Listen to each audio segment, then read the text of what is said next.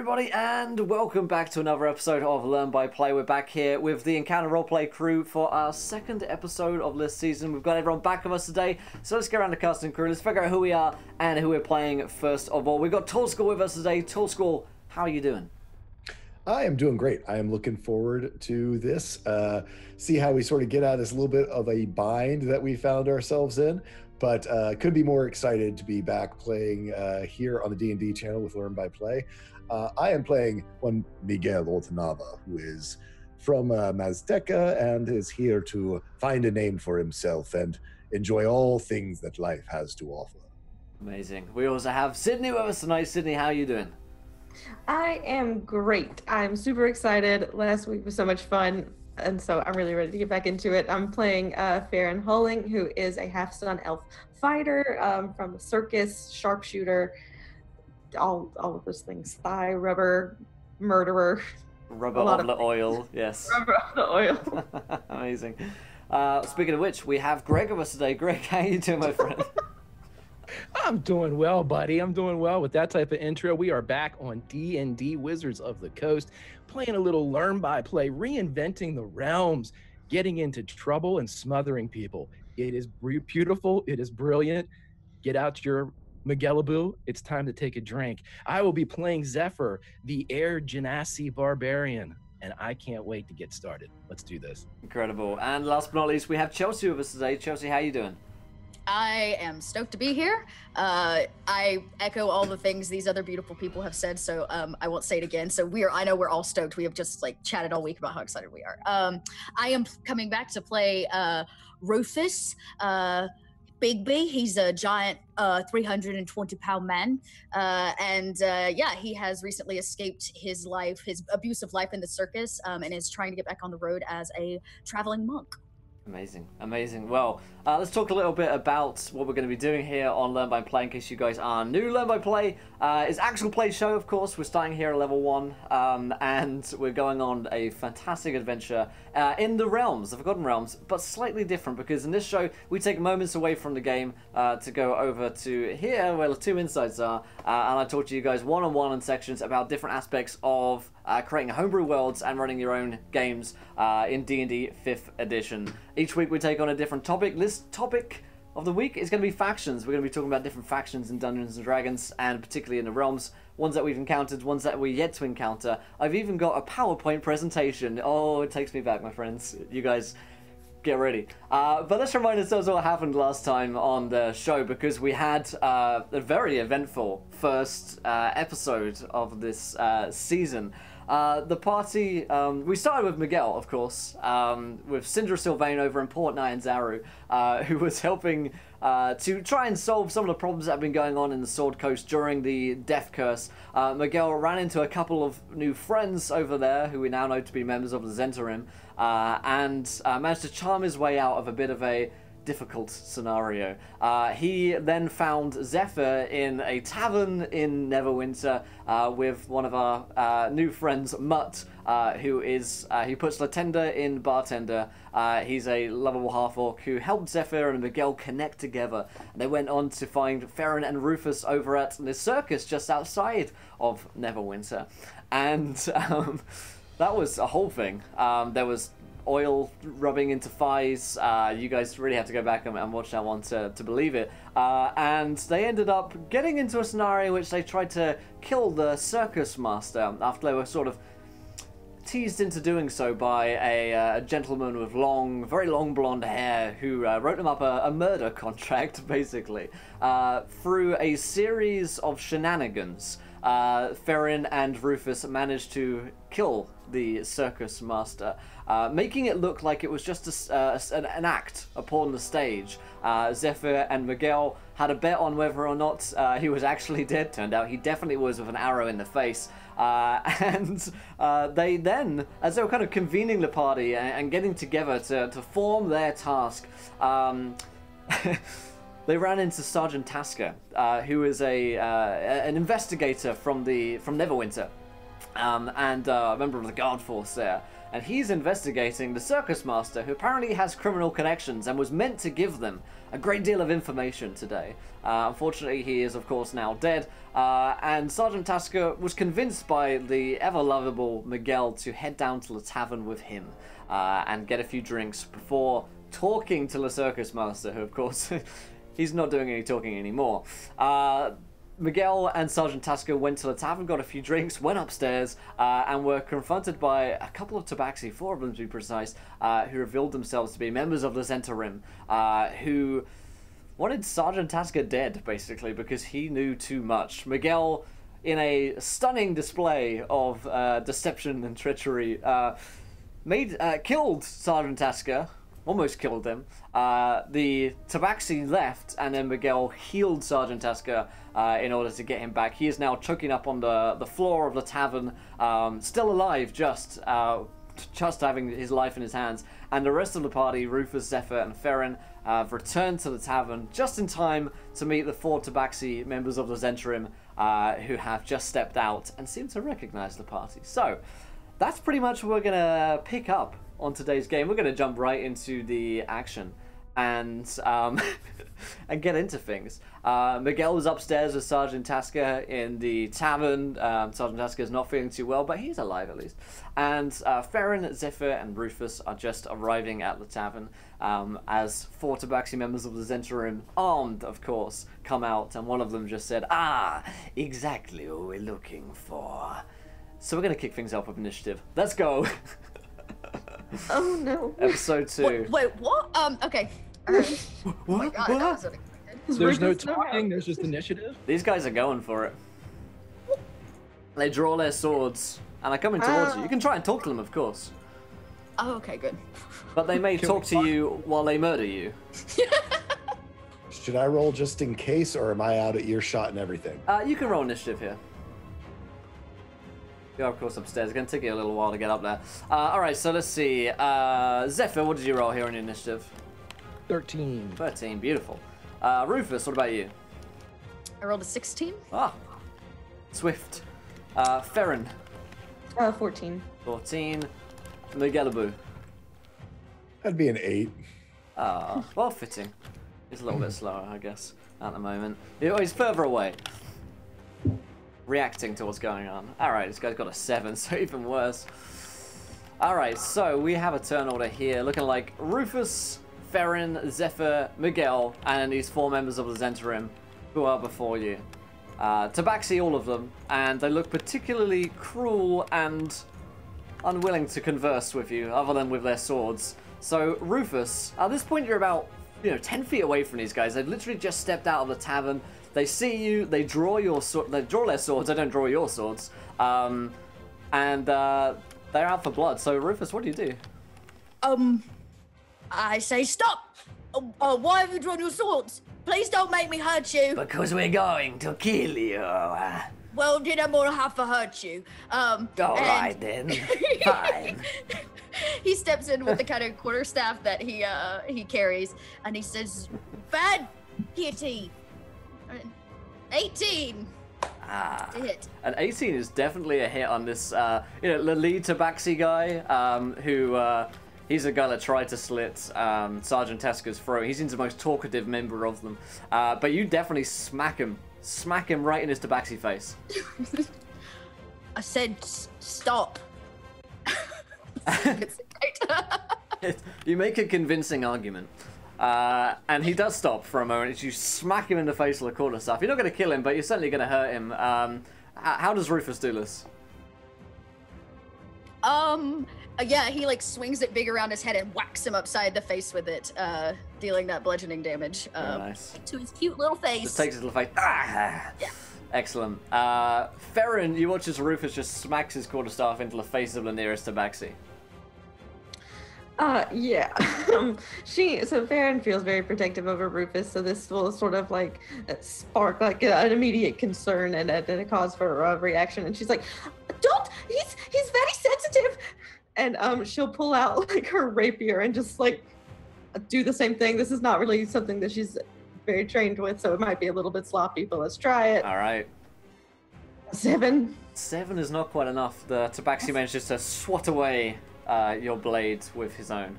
Yeah, I had a, I had a feeling that would happen. All right. Yeah. Zephyr.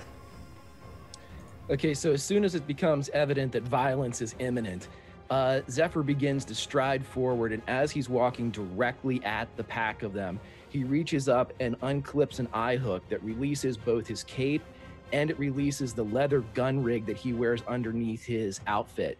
And as he reaches behind him, he catches the shield as it falls and reaches under his left armpit and pulls out a warhammer as the great sword clatters to the ground behind him. But with each step, it's something that his captain, his former mother called his former mother called his blessed unrest, as a storm begins to build in his eyes, and you see lightning strikes and clouds start to creep out of his mouth and ears and his eyes as each step gets him more and more engaged in his blessed unrest. And as he walks directly up to the one that was talking, the one that seems to be the mouthiest, he looks directly into its eyes and says, You made quite a mistake here today, Puss Puss. And he attacks. See it. As I roll in that one. Him falling that one, yeah. Right. If I can find my Warhammer 3. Ah, 12. A 12 isn't enough. Right. The I mean, he's I'm into him though. I, yeah. I want to be into him, yeah. Yeah, he just kind of at you and like pounces out of the way, uh, spry on his uh, the balls of his feet, jumping away from the warhammer. These guys are pretty fast. Uh, Miguel, upstairs, you hear um, sounds of combat down below. You hear the sound of a from Rufus as he smack of wood into someone's face. You can look out the window and you can actually see these guys fighting down there. Ooh, um, cool. So uh, Miguel will uh, reach into one of his pouches and pull out uh, three uh, stones from his uh, homeland and uh, begin chanting over top of them and casts uh, magic stone on them. Are they within 60 feet? Absolutely, now.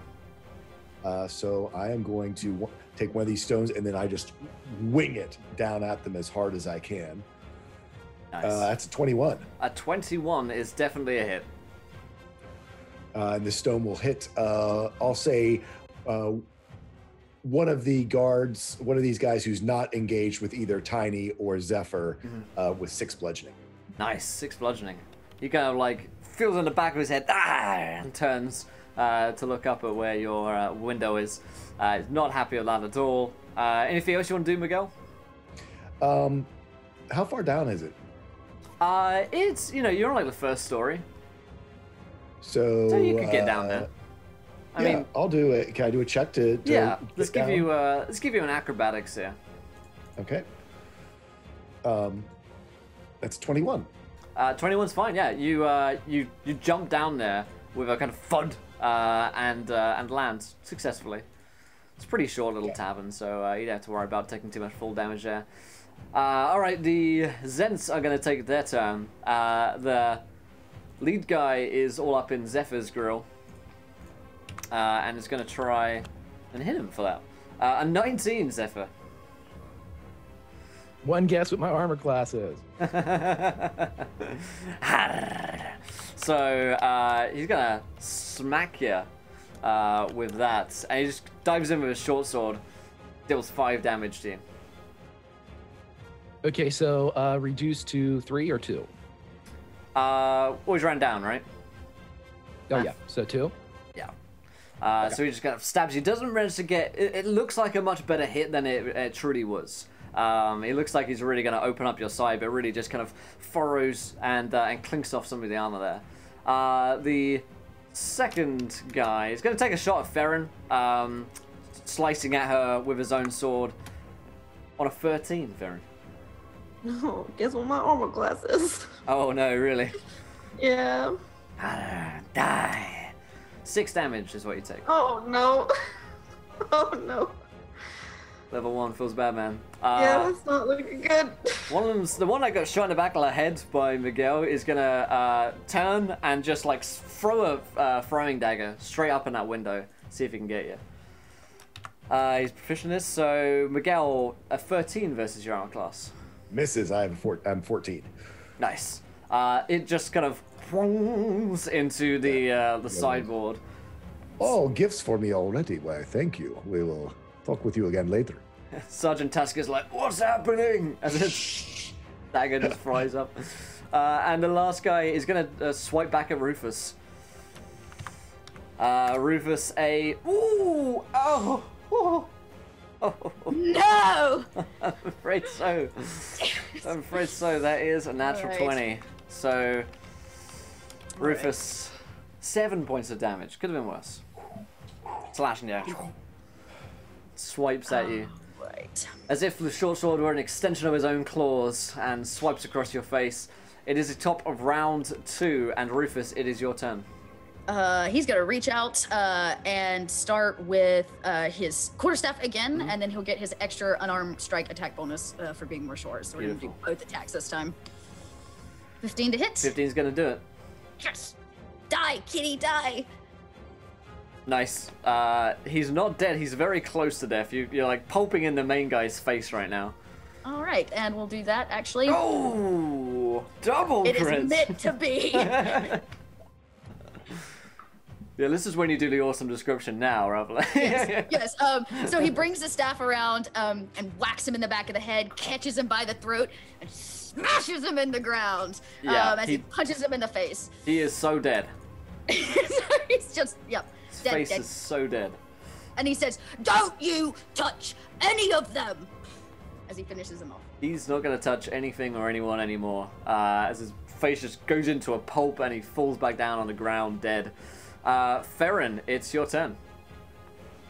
Yeah, okay, so Farron looks um, like very, very shocked at what she's just seen Rufus do because she's sort of always known him as this like gentle giant. And she's like, oh, okay, I, I'll, I'll try to do it that way. and she, um, she'll try to attack with her rapier again because she's too close to use her uh, bow. Absolutely. A 16? is a hit. okay. With nine damage. Nine damage is enough to kill this guy in one. Uh, how does he go? cool okay so um she um she's very inspired by rufus's just sudden rage and, and murderous triumph and so she sees him she's like oh, i'll try to do it like that um and she like is like looking at rufus she's like like this and whacks him and he just like dies there and she's like like waiting for approval Yeah, he dies gargling in his own blood and falls down. and imagine her like floor. jumping like a cheerleader like oh Terrifying. Uh, Zephyr, you got two of these Okay, guys left on you. Uh, okay, so are they both? Um, they're at range with Miguel and everybody else. Am I the closest to? Can I engage in melee both of these guys? Uh, you can get to one of them. You can either get to the guy with this who got shot in the back of the head by Miguel, or one who uh, hasn't taken any damage yet. Okay. Uh, what I'll do is I'll just attack the leader again. I was gonna go for to restrain, but Okay. I think that guy's had his face smashed in by Rufus, but there's another guy there. never mind. It is not my night. Ooh. As I get- Yeah. You just kind of boom, swing wildly, uh, and Tabaxi just ducks underneath the uh, the blow as the air parts by, blowing his ears around. Uh, Miguel, it's your turn. Uh, you're muted, Tallsquall. So the guy that uh, I just uh, spoke, uh, who uh, I hit with his stone and threw a dagger at me, I, I go, "So you want to play with daggers? I do know how to play with daggers." And he pulls out two ceremonial daggers, one in each hand, and uh, with a flourish, sort of spinning at him, uh, with sort of all his feathers and uh, colors flying like a giant uh, whirling ber- dervish. Goes in uh, and is going to do both a main hand and an offhand dagger attack. Nice. So first dagger ooh, with a Ooh. seven. He does not get it uh, offhand dagger with a 21. Uh, 21's enough. See, I was just distracting you with the main hand. Uh, for four piercing, just stick it right in. Yeah, you stick it into the uh, the the throat of the uh, the guy who shot in the back of the head, and he dies just straight on the dagger, falls onto it. Uh, he looks very surprised he does so. Oh. Anything else, Miguel? Um, that is it, I believe. Alrighty. and that takes it to uh, the last guy standing, uh, who's going to look around him, and he sees he's seen Rufus take a pretty bad hit, so he's going to go in on him. He's the biggest target around. Rufus is Uh, 17. Do I get an attack of opportunity? Uh, he's going to uh, lob a dagger at him. Yes, yes, 17 hits. Nice. Uh, That'd be bad news bears. so uh, dagger's a d4, right? Yeah, Four damage. you literally took every HP point I had left. Rufus goes down, Beautiful. No. oh no. face down. D- dust goes Nice. when his body hits. I think Rufus is the first to fall. Uh, yeah, good stuff. He just kind of like lobs a dagger at you just past Zephyr, uh, and Rufus, you take it and you fall over unconscious. That takes it to top of round three. Rufus, you can roll me a death saving throw.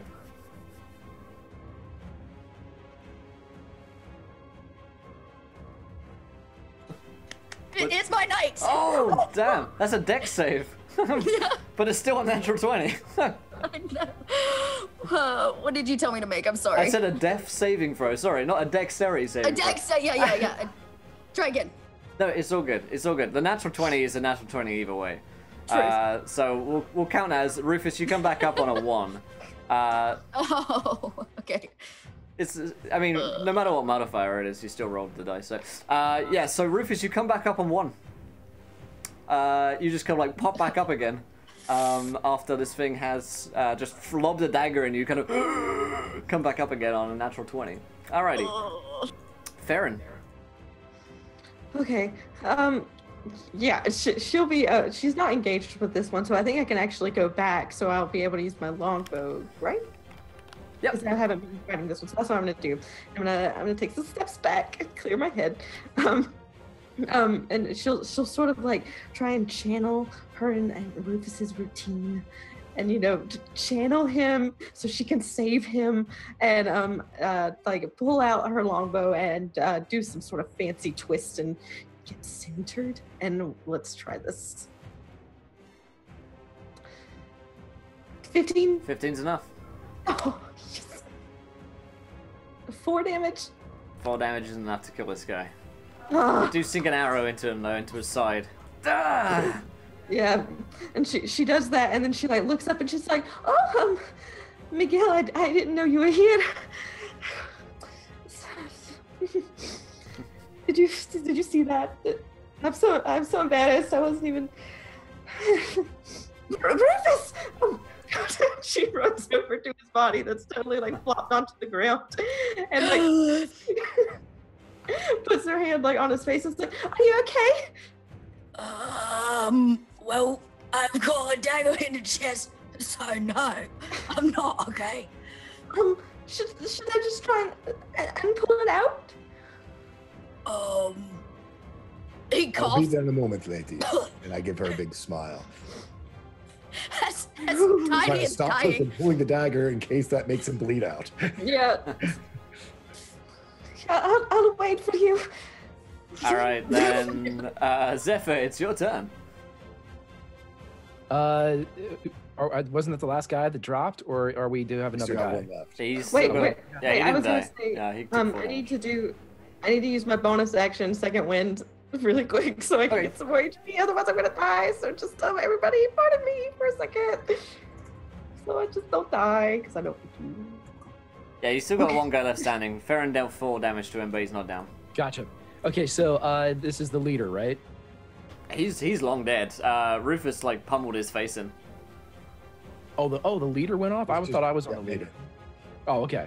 Um, well, anyway, the, the one guy that's left, I am going to attempt to grapple him because I need all the extra dice rolls I can apparently get here to try and subdue this guy. So I'm going to wrap him up in a bear hug and try to, you know, get a, like a rear naked choke on him or something. So, uh, is that athletics contested? Correct? Yeah, you want to grapple him? Then, then yeah. Jeez, oh me. You rolled a five. Oh, really? Yep. Hey. So uh, you managed to have him grappled. He's weak from the arrow shot to the uh, the side, and still kind of recovering from that. uh, when Zephyr, you just kind of grab him and put him into a grapple. Okay, I kick his leg out and take him down to his knees and just, you know, choke him out and, uh, you know, take the hammer and kind of rest the hilt of it across underneath his chin and uh, lift his neck up so he can see that the, you know, the big man that's down over there Mhm. and say, I told you you made a mistake, Puss Puss. And he just holds it, holds him where he is. All right, then Miguel, it is your turn. Uh, since he is now grappled and prone, do I have advantage on melee attacks? Uh, yeah. Although Oh, technically go- grapple doesn't make you prone, we'll allow it. Oh, that's true too. So yeah, that was just flavor. So anyway, do I have advantage if Yeah, he's I'll, I'll give you advantage on this guy. He's Okay. uh, on his So, yeah, last I have got sure. both daggers out, and uh, I, I go at it. Twenty-one, 21's enough. a four, and if he's not dead, I'll hit him with. Actually, I'm gonna go in with both just cause to make sure he's dead, and a twenty-four on the other one. That'll do it. So that's total seven damage to him between my two daggers. As I just come in, f- flip them around, and right into him. He is so dead. As if it holds him there, just kind of dies from the uh, repeat uh, knife wounds to his body, and he passes out and dies. Uh, combat is over. Zephyr immediately goes over to where Rufus and uh, Farron are. Yep, Nice. Miguel follows. Rufus struggles to breathe. He lets in this like kind of uh, raspy breath, um, as if maybe it's punctured a lung or something, and he coughs up some blood. God. Feeling- Ah, my magnificent friend, it is not your time yet. Miguel has you. And I pull the dagger out and use my one spell slot to cast Cure Wounds on him. Oh, man. Nice. Uh, it's good old level one. Uh, that's for seven healing. Fantastic. Fantastic. You are far too magnificent to be leaving us so soon. The night is young. He reaches up with his kind of like chunky hand and puts it against your beautiful man face uh, and says, I have, I owe you. Thank you all for, for healing me. How was it gonna? Not yet, my friend. We have much more, ah, many more drinks to drink in this life together, I believe. Uh, Oh. Zephyr offers a hand down to Rufus, as I'm assuming it's going to take both he and Miguel to help. Yeah. him. Yeah, he, he Like, rolls a little bit. Yeah. like- We're gonna like get up behind him and like push like from the back while you guys pull out push. Come on, big man. Come on. Peacock's got you. Come on. he he oh uh as you guys like manage i guess to pull him forward he's a pretty big dude i guess he is dexterous though yeah he gets up all right I'll make it up on he like brushes himself off as if he's not wearing like the rattiest robes ever um as he stands next to miguel My friends, we should head inside and get ourselves in a secure place. I have news. At this point, the tavern owner uh, is coming out, and people from the tavern are kind of spilling out as you have basically had a big fight just outside the tavern and killed four people. The door kind of swings open, and this dwarven lady uh, comes out, the proprietor of the bar. What is going on here? She looks at the four dead bodies, looks at you, the blood on your weapons. Sergeant Tasker will explain everything if you will just give me a moment to retrieve him. You roll me a persuasion check on this one. I flash her the smile. Come on. Keep rolling like I did last week. 19. Nice. Yeah, she uh, she thinks about it for a second. If you didn't have such a beautiful man face, I wouldn't, but fine. Tell you what, we will uh, get these uh, this trash from out in front of your bar so it does not affect your business for the rest of the evening and be down for drinks uh, well into the night, I'm sure. Just get him out of here. So can we like drag them just someplace so they're not literally in front of the tavern? Yeah, I mean the tavern has like a uh, you know an alley on the side of it, which is you know reasonably dark uh, that you could take them to, and it also has like a back. It looks like a like a beer garden area that no one's in at this point. Uh, so that's the, the immediate place. Um, you're basically in a small village, so you've got kind of like village cottages and huts around you right now. Um, there's not many. There's not many places around here. And of course, you're not far from a carnival either, so people are kind of like spilling out from the carnival. Um, Zephyr will yeah. pick two of them up by the scruffs of their neck and carry them into the alley. Rufus picks up the other two by the neck. Miguel's just like, now there, there is some feats of strength. Carrying two at one time. Hmm. Just let me use your legs. It's, it's, it's, it sits Miguel back, right? And Farron is like following Rufus, like try, for some reason behind him in case he falls, as if she can catch him. Are you sure you're not pushing yourself too much? You just had a dagger in your chest. I'd like nothing more than to dump these pussycats behind this building. They almost killed me. Do you say that? Yeah, yeah, I saw it and, and it was very scary. But now I'm I'm worried that you're gonna strain yourself and and explode. Rufus Rufus looks at her and says, Last time I checked, I smushed a rock earlier this evening with my bare hands, so I'll I'll be alright. And he like pats her on the head in terms of her concern and care. It means a lot to him. Miguel puts his arm around Farron and gives her the smile oh. and Oh, he goes, My dear, my touch is magical when it comes to healing. Rufus is oblivious is that you're it coming on in to her. It? It's truly is magical. I felt his touch myself. she like that like goes to like almost touch your chest and is like we, we, we wanted to say thank you for um for what you did for Rufus there. I know you don't know either of us very well, so that um means a lot to uh to both of us. Yes, uh, don't thank me yet. We are in well over our heads here, my friends. Uh, once we get rid of these bodies, I need to fill you in on what happened earlier before you arrived. Yes, uh, Zephyr, who's probably a little bit more focused than the others, uh, I- looking at the bodies here. Um, Zephyr, you notice that there's something a little bit odd uh, about the bodies uh, of the four Tabaxi who are before you. You notice that they've got a fair amount of sort of gang tattoos on them, which is pretty common for you know criminal uh, underworld connection types. Uh, however, you notice that one of the tattoos, uh, which is basically on their forearm, uh, seems to be like moving. It's like writhing. It moves on its own accord, and uh, you know, fairly well hidden by the thick fur which is on their arms. Um, but now that you've you know they've got wounds on them, you see them in the in full light probably. Uh, without having to, you know, block a sword coming in, you can see that all of them on their right arm have a, a kind of writhing tattoo on their arm. Um, I I prepare to point it out to the others, but before I do that, I'd like to search them to see if they have any type of orders on them or money or anything that would be good to use. Absolutely, they carry between them 16 gold pieces on their person, but they do not appear to have any written orders on them. Okay. I call over to the others. Hey, check this out. I have a lot of tattoos, but none of them move. And he points to the the arms of each of them, and he pulls his great sword out of the rig that he's kind of picked back up and clipped back in. And before he puts his cape over, he pulls out his great sword and kind of lowers it over the one of the arms and looks back at everybody else with the raised eyebrow of, "Should I cut this off?"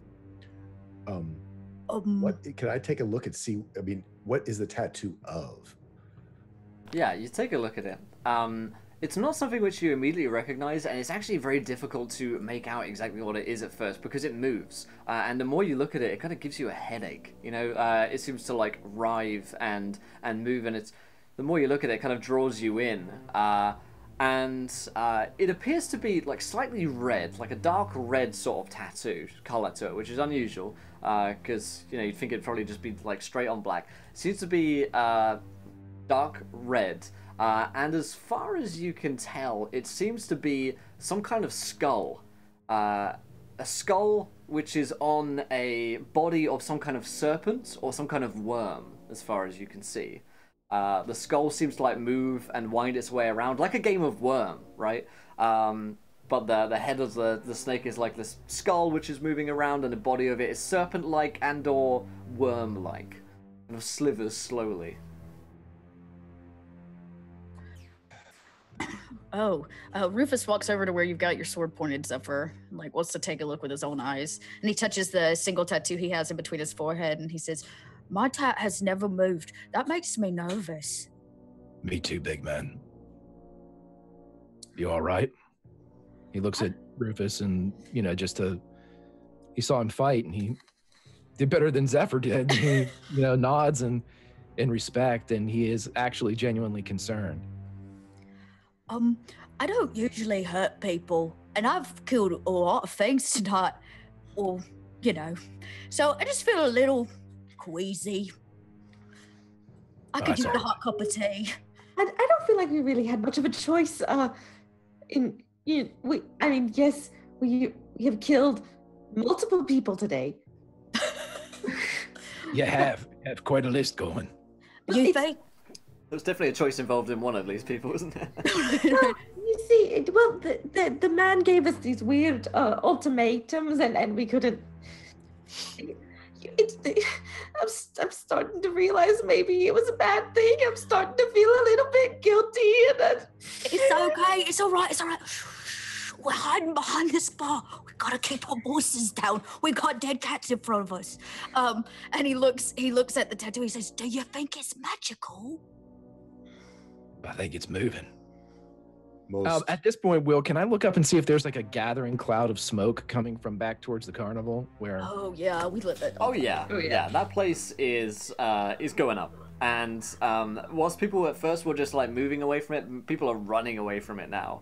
Uh, this is this place is getting pretty out of control. There are some people going to fetch water, you know, pails of uh, water to try and fight the fire, but uh, yeah, there's definitely a blaze going up at the carnival. Uh, I look at Zephyr as he's pointing at this to cut it off, and I'm not sure if something like that, just cutting it off, will take care of it. I can attempt to burn it away, but I do not know if that will take care of it either. it looks like there's something under the skin, though, something moving. Oh, yes. Don't you want to see what it is? No. Nope. It's it's strange that it's still moving after they're dead. Right. That's why I'm wondering if we cut it off, if it not, will still move and It might run away. Uh, So something living under his arm? Is that what you're telling me? You think there's something living in him? I think so. It looks like it. Looks like something. Looks like a, a puppy under a blanket. Look at that.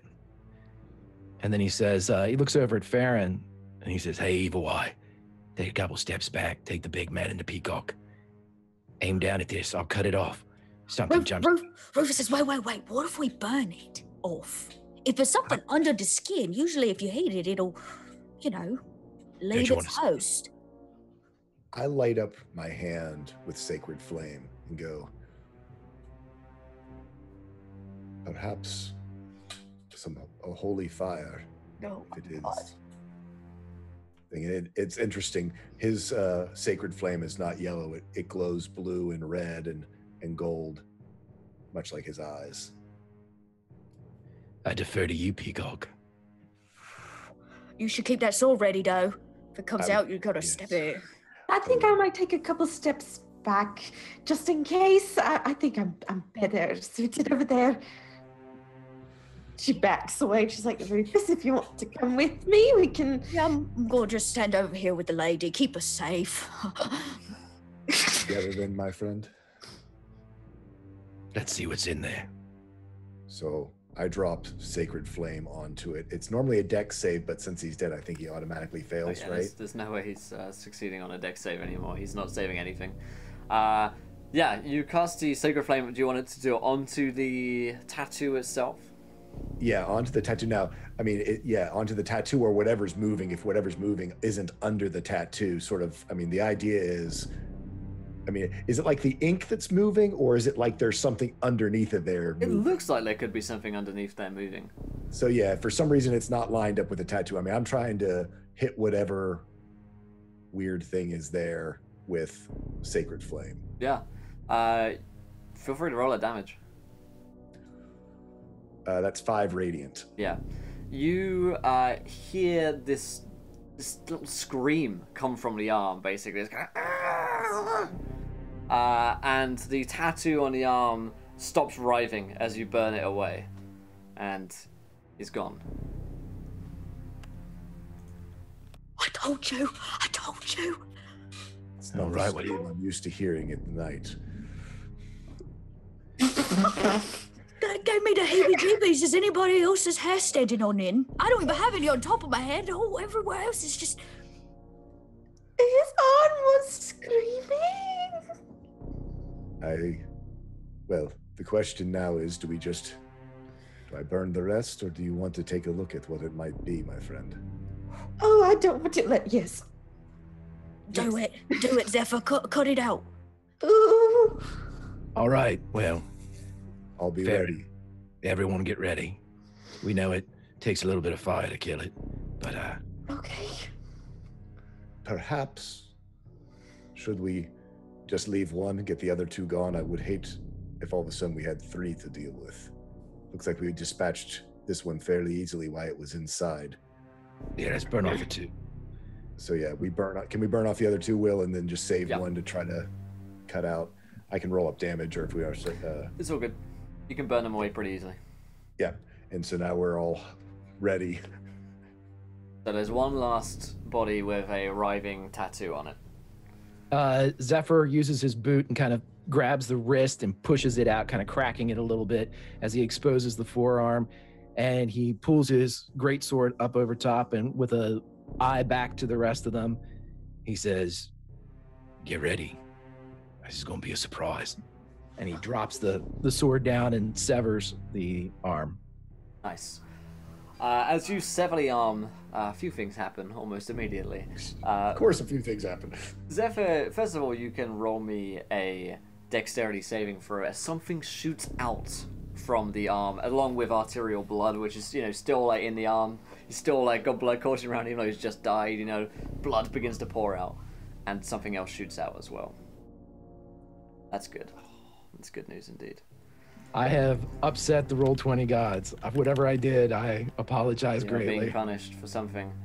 Uh, you take eight points of necrotic damage as this thing Yeah. latches into your basically your chest. Uh, you know, it just kind of shoots right up to your chest, and it is like you hear it scream, you hear, "Ah, ah," and it is just trying to worm its way inside your chest right now. It's trying Oh to eat God, its way uh, inside you. Can I? c- c- Can I hit it with the sacred flame since I kind of had it prepared? Shoot it, shoot it. Yeah, let's do that. Oh, my god. Oh, it's. I assume it does. It make a dex save? I bet it does. Yeah, that it can out, make a dexterity saving throw. I think it's pretty dexterous. Rolls an 18. uh, Then. Rufus steps in, and I'm just gonna. I want to pull it off of him. All right. Can I, can I grab it and pull it off? Yeah, roll me a, s- uh, roll me like an athletics hit, like grapple a thing. At a 12. Nice. Uh, so he's going to try and grab you back. It's not very good at grapple, but it succeeds. It is staying latched right into Zephyr. Oh my God. Farron, you get a Okay, chance to oh. do something here. Yeah, yeah. I'm gonna. So this is what I'm gonna do. Um, she she knows that fire will uh, do something. So um, I'm gonna take. I'm gonna use prestidigitation. I'm gonna whip out one of my swords from my um explorer's pack, and uh, not my swords, a torch. I'm scared. and light it, and just like. I'm so sorry, but I'm gonna like touch it to like his chest where it is, and see if I can um like burn it out with this torch that's lit. All right. Uh, roll me like a dexterity-based attack roll. No proficiency. Okay. Okay. Um. Okay. Give it one. One second. A six. Six is not enough. You like swipe at the thing, uh, but it just like it, it's pretty dexterous, and you don't want to get it too close to Zephyr so that you're gonna like burn through his chest basically. So uh, Zephyr, you get a chance to do something here before it's gonna try and eat you. They're trying to eat me. Okay, uh, well, I would like to rage again. Good idea. I'm gonna need this right now, and I'm gonna try to. Uh, I know it's a smaller creature, so I should have. This, I'm gonna try to grapple it Yeah. with the intent to just hold it aloft and squeeze it. I'm gonna keep it away from my chest, so it's just. Do you, want to know, like squeeze it till it's dead, or you just want to hold it? I'm gonna try to incapacitate it if possible, but if squeezing it and it just snaps, then it just snaps because this thing is Eating not you? bueno. Yeah, it's it's in no bueno. So, So let's do the. Uh, so you should have advantage on this grapple check. there we go. and he rolls, he rolls a nat one. so uh, yeah, actually on a nat one, you like snap something on it. Uh, like it, it- it's like wriggling into your chest. You just like pull it off with a, uh, and sucker it off. Uh, and you see this like this tiny little skull, essentially, like a skull of a rodent, that size, uh, and it is like biting and gnawing and chewing, and the wormy kind of bottom of it is just like wriggling and writhing frantically in your hand, and you hear a kind of uh, as you like snap it off you, and it stops wriggling and writhing as it kind of, and it is dead.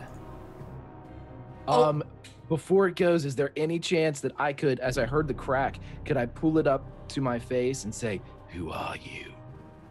and see if it answers? Just see if it can talk.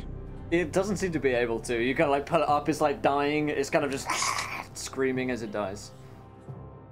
Oh, He throws it to the ground and just stomps the shit out of it. Just and turns around. Okay, that one's on me. I was curious. Curiosity killed the cat. No pun intended. I've learned my lesson.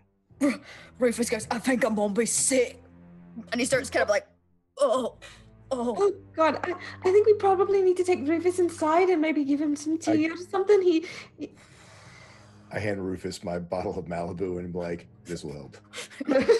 It looks tiny in his hand, and he like, "Glug, glug, glug," you know, like passes it back half full. Yeah, Miguel's like, as he like chug down his bottle. I believe there's more inside. Shall we? Act, we, I, I still, we, we need to get inside. We should, um, we should hide. You know, we didn't, you know, we did just burn down the, the freak show. There was an accident. Miguel's like, you did what? no, we we There was did an not. accident. We witnessed an accident. That's true. We did it, burn it right. down. He did. Uh, Uh, I He- witnessed an Yeah, we we accidentally witnessed him burn it to the ground. right. that was- yes. Is that what we're Just like these tabaxi accidentally fell on all of our weapons. Perhaps we should cover them up. Is there anything around that we can at least sort of throw them in a trash pile or something? Yeah, there are like barrels of you know stuff. ra- There's some empty barrels around here that you can chuck some bodies in. Uh, are you leaving the uh, the weird undead worm thing on the ground? It's about like 12 to 15 inches in length. Oh my god. Oh. Um, I thought it are was we sure it's dead? It looks pretty damn dead. It's not moving. It's not writhing anymore, and it certainly has a ability grab, to like I'm gonna grab it to bring it as evidence to Tasker. Tasker. Okay. Rufus says, Lord, don't put it in something. And I look at like what's it? I got like a, a, a sack, anything we can like put it in and tie it up. Ugh. I have You lots probably of got a different sack, pouches yeah. in my. Uh, We can put it in the barrel. Your barrel. put it in my barrel. brother. Right? Drop There it you go, in. perfect. There we go. It's done. He lids it. If, if we if we start hearing a drum, and we run. That's right. If it starts to, I'll It know. hurts That's the rule. So, my friends, I have good news and I have bad news. Okay. Apparently, uh, we have uh, taken care of business for these people who wanted to kill uh, all of us and Sergeant Tasker. The bad news is they are all members of the law enforcement locally here. We need to head upstairs oh. now. Oh. Wh- Well, wh- they, what- why did they just start attacking us as soon as we got into the door? They said that we were the ones that were looking for Yes. us, and they just started attacking. Yes, Upstairs. Why'd they leave you alive? I'm sorry? Why'd they leave you alive? Yeah, good question. That is a good story. Let us head up. All right. Yeah, okay. So you uh, you guys head back up to the tavern. At this point, we're going to head into our first tomb insight of the day. So uh, stay tight, players. We'll get to the next moment here in a few seconds' time. Alrighty, let me let me just mute these guys real quick here. There we go. Beautiful. Alright then, so we are over here, my friends, on the Tomb Insight section of Learn by Play. Of course, we've got part actual play, part DM advice, and uh, homebrew world creation. So we're going to talk about our first thing of the day, factions, reinventing the Zhentarim to fit our world. That's what we're doing today. And we've come over to my uh, my next screen over here, where I've created a, uh, a presentation, a slideshow. Oh my god, this feels like I'm back in school again. Uh, so, factions in D&D, reinventing realms, boom. Uh, right, so, oh, I've got my pointer here on the screen so you can read with me. Uh, so, creating factions that interact with one another during the course of the campaign. This is something that I think is actually really interesting and, and really important thing about factions as well, to make the world feel alive. They're not just static factions that are doing nothing, um, but they are interacting with one another. The Zhentarim in this campaign are interacting with the Guard Force of Neverwinter. Uh, they are um, actively pushing their own agendas, and that's something which I think is important with creating factions. It's, it's something that a game named... Um, Stars Without Number does really well. It has its own faction turn, and this is something that I really enjoyed about that game, is that you take your own turn uh, as a GM to see what the factions are doing in the world. What uh, in that game is a uh, sci-fi world game, so you know they're taking over uh, different worlds, they're taking over colonizing places and stuff like that. And that's something that I think is kind of interesting to think throughout the course of your campaign, what are this what are the factions doing at this time? What are the in this case, the Zhentarim up to at this time? What agenda are they trying to push and push and how far are they doing that? Uh, so something that I like to do as I go along in my notes is just to, um, you know, if it's been a week or so in a campaign, to think about what different factions in the world might be up to as we go along. Uh, try and think about what factions might exist in places and cities that I have created. Um, this is a normal way that I go about this. Uh, we're going to talk later on about a different way about creating factions and creating locations about it. Um, but basically, if I've created a place, I've created a city, that's something that I often do first, is I like to create like a home hub city. Uh, I think about what factions might exist in that, so if I know that this city is particularly wealthy, then I think about what factions might be involved in that because of that wealth. Or if it's particularly uh, poor, what factions might exist in a place like that? Are there more, you know, is there more of a black market? Um, in this example, we're gonna yeah we're gonna use the template of these Zhentarim and see how we're gonna change them to fit our own worlds, uh, so I can actually show you guys what I'm talking about rather than just talking about it. So. Uh, this is what we know about the Zhentarim at the moment. This is what is, if you go onto the Wizard of the Coast website, this is what you'll find about the belief system of the Zhentarim. The shadowy criminal organization active along the Sword Coast. Uh, their beliefs, the Zhentarim is your family. You watch out for it and it watches out for you. You are the master of your own destiny. Never be less than what you deserve to be. And finally, everything and everyone has a price. So, um, that's what we know about them already. That's the kind of basic information that we know about the Zhentarim, and we're going to go and change them and see what we want to do. with them. So in our version of the realms, uh, because we had the death curse happen, we had uh, Tomb of Annihilation, uh, and all that came with that, Acererak's defeat, uh, and the uh, destruction of the Soulmonger. Uh, we're going back over to what happened on the, the kind of mainland and seeing what happened uh, over there on the Sword Coast. Now, during this time, there's been a great deal of wars. There's been undead uh, have been rising greatly because of the death curse, uh, and a bunch of necromancers have been taking uh, advantage of that. The Zhentarim have grown greatly in power since that death curse came. Why is this? Uh, they've monopolized on this period of war, and during this wartime, people have had nowhere else to turn. Uh, you kind of have to deal with people who, you know, everything has a price, and everything particularly has a price during wartime, right? So uh, this is what people have had to realize. They've had to face the fact that we need to help. Uh, we need help. We need to call upon the Zhentarim, and they have used that period uh, during which the black market was rife as well. So shadowy organizations tend to do particularly well during periods of war when homeland forces are looking outwards rather than inwards. So um, that's what we're going to do. Therefore, they have an even greater network of spies and mercenaries available, stretching across the seas to Port Nyanzaru, which we actually saw in the first episode because uh, she speaks with tongues uh, was I think one of the first NPCs that we came across actually, uh, and she interacted with um, of course.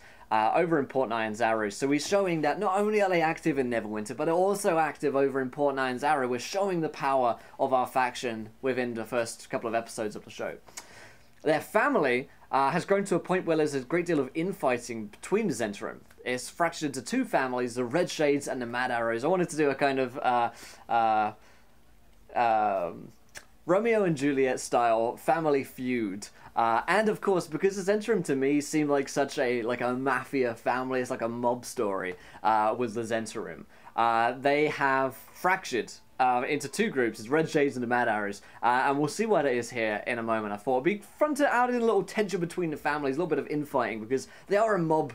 Uh, you know, they are a mob gang basically, and if they've expanded in power, then it makes sense that they have you know, their own empires expanded. Then they're beginning to see fractures of their empire, where normally there are smaller, shadowy cabal of people. They have now expanded, and they're having a couple of problems because of that. Uh, what did I say? Creating location. This is actually our next one. I'll stay on this uh, one to talk a little bit more.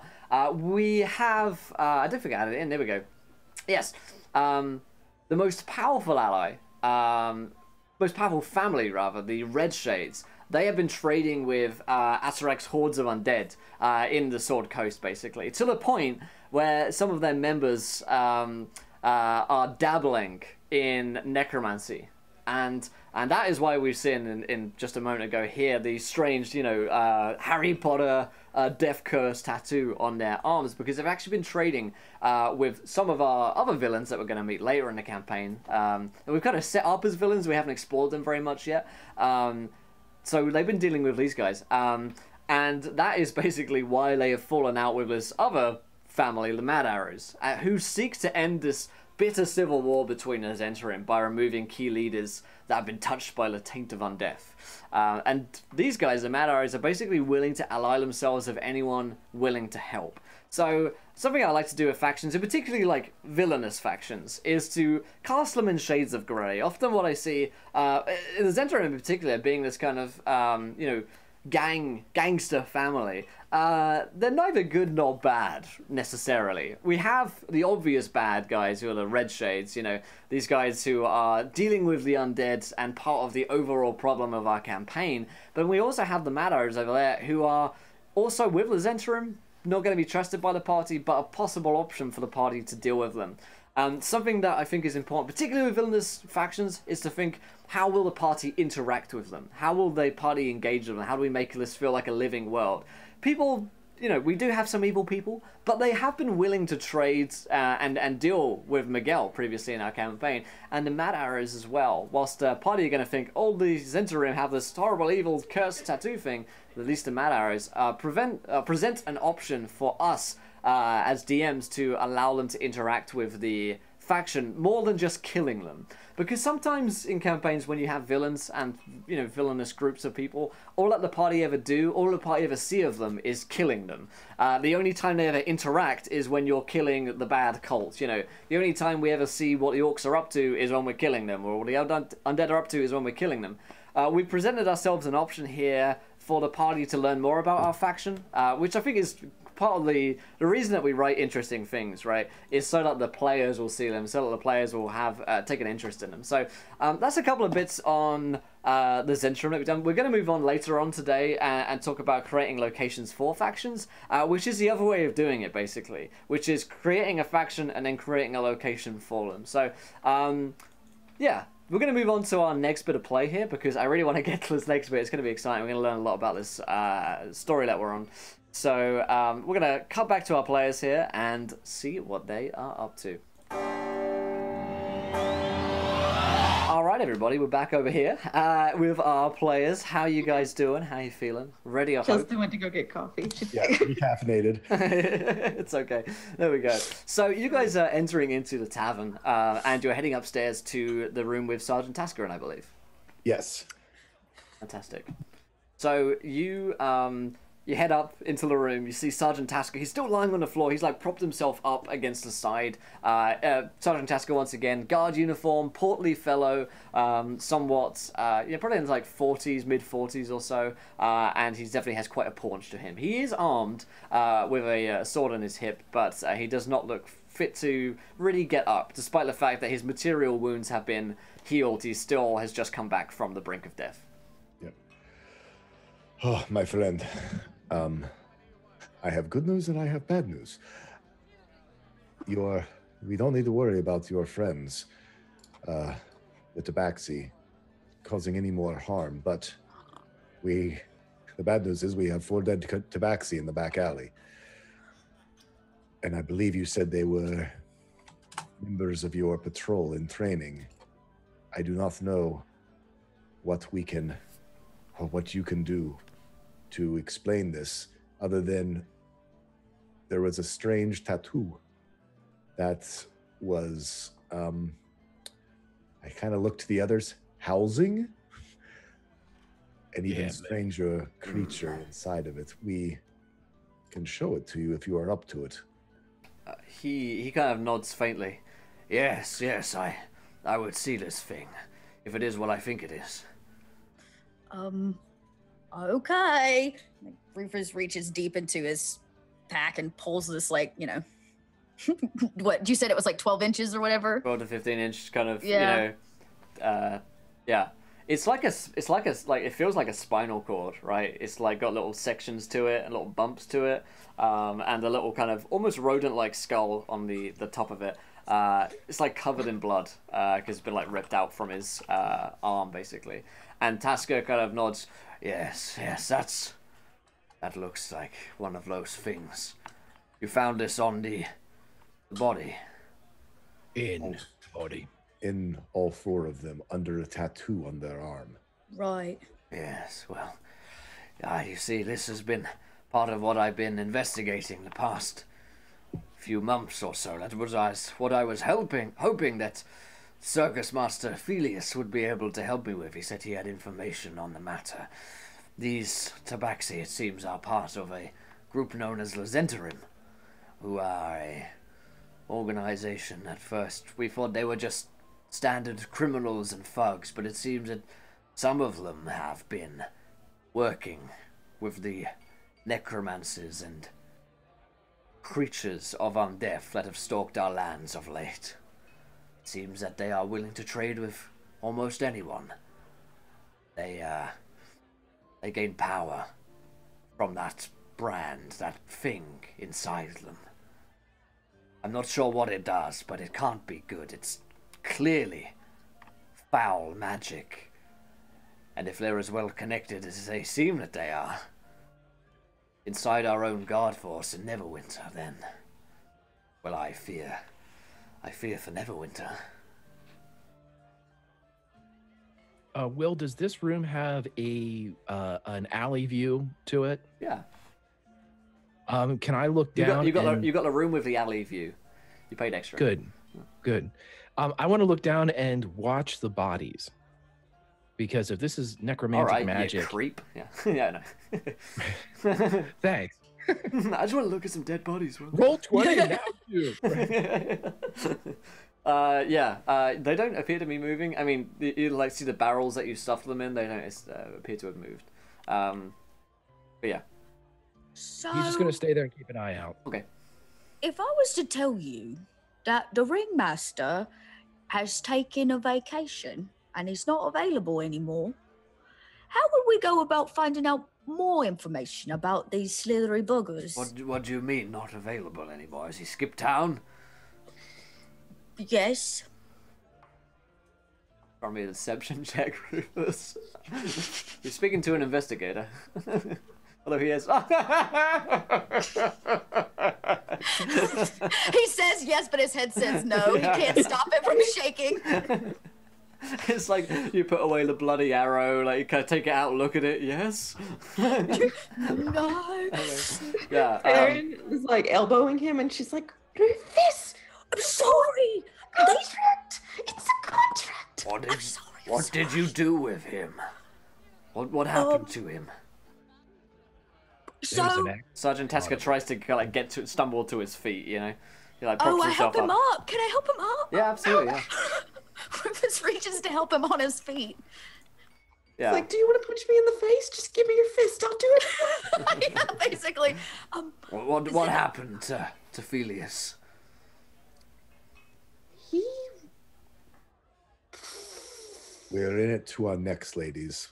I'm sorry. Uh, oh, friends. Oh, I am technically a little dainty. Um, just my size. Um, Sorry.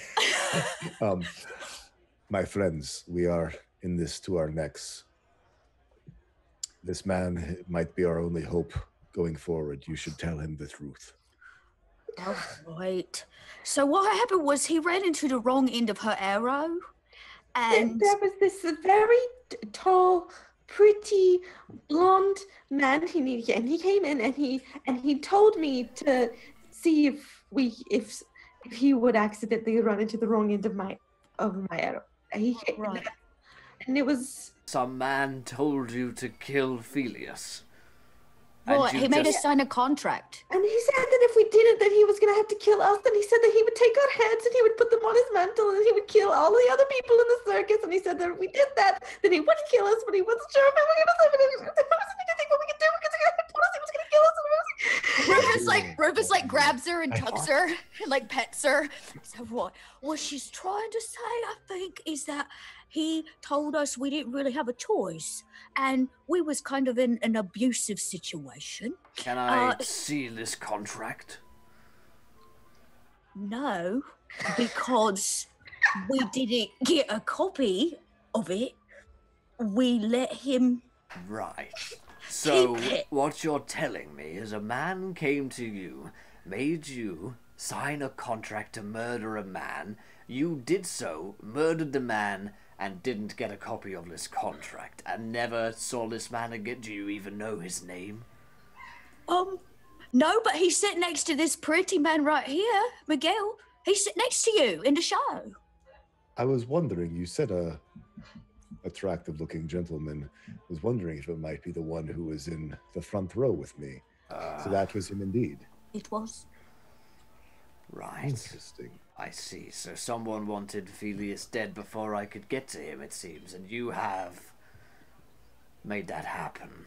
He said it was something about um Thelius had had lost him a lot of money and and there was no way he was could- he could pay it back. So the way he was going to pay it back was getting his head and putting it on his mantle. But then we offered him the head. We said we would go get it, and he said he didn't want it.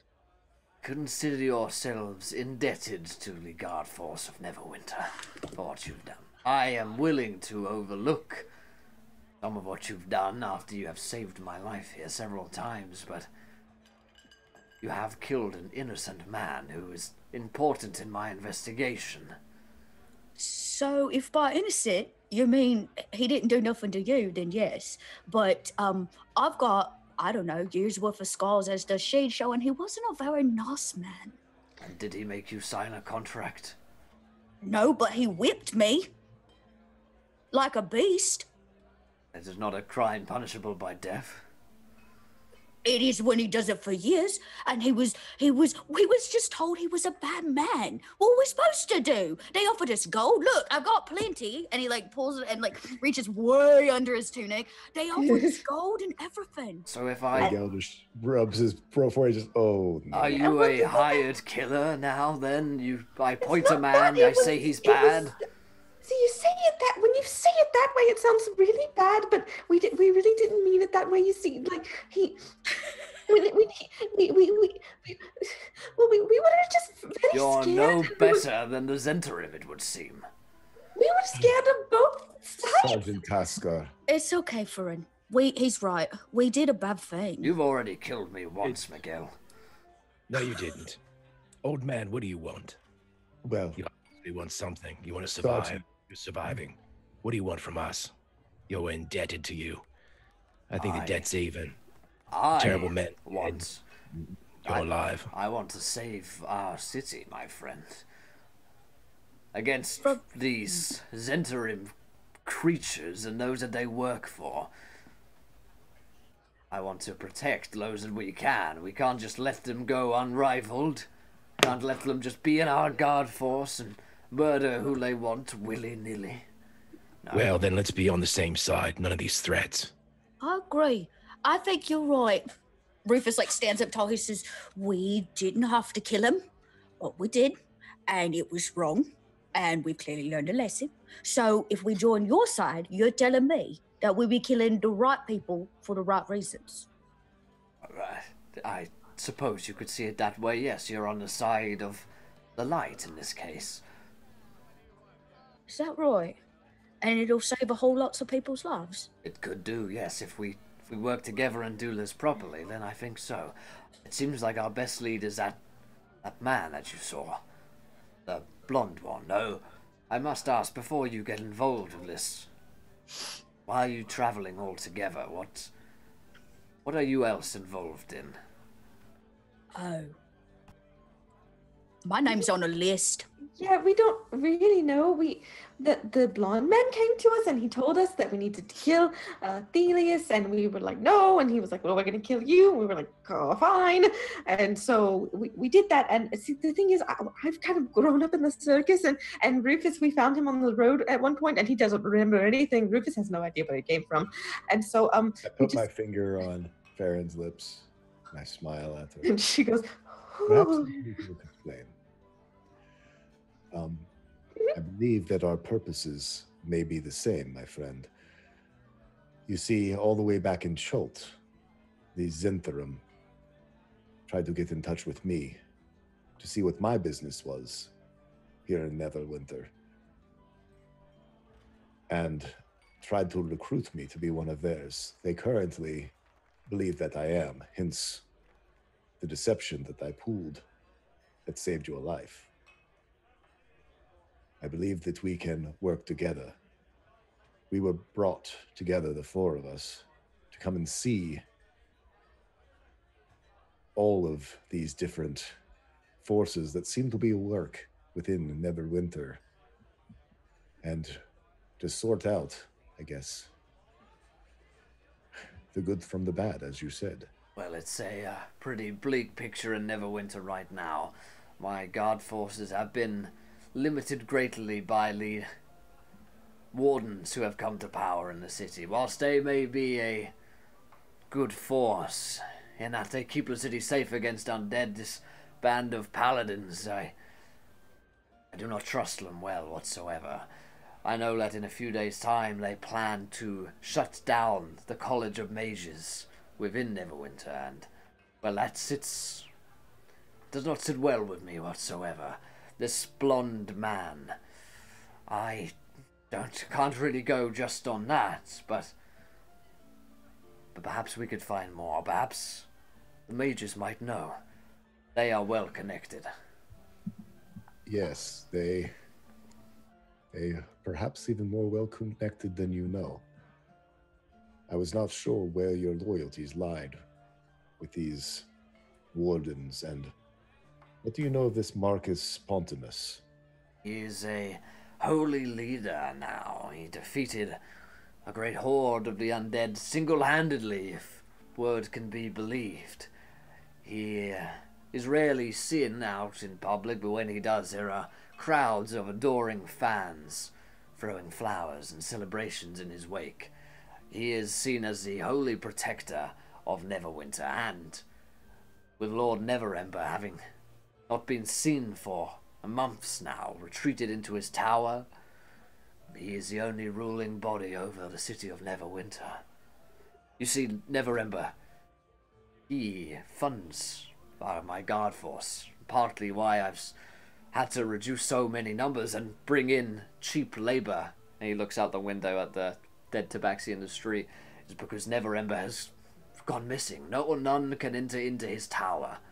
None may see him. I'm not sure what's going on, but with him gone, and Marcus Pontimus and the wardens in charge, and the Zhentarim infiltrating my ranks, then my friends, Neverwinter is, is not a safe place to be right now.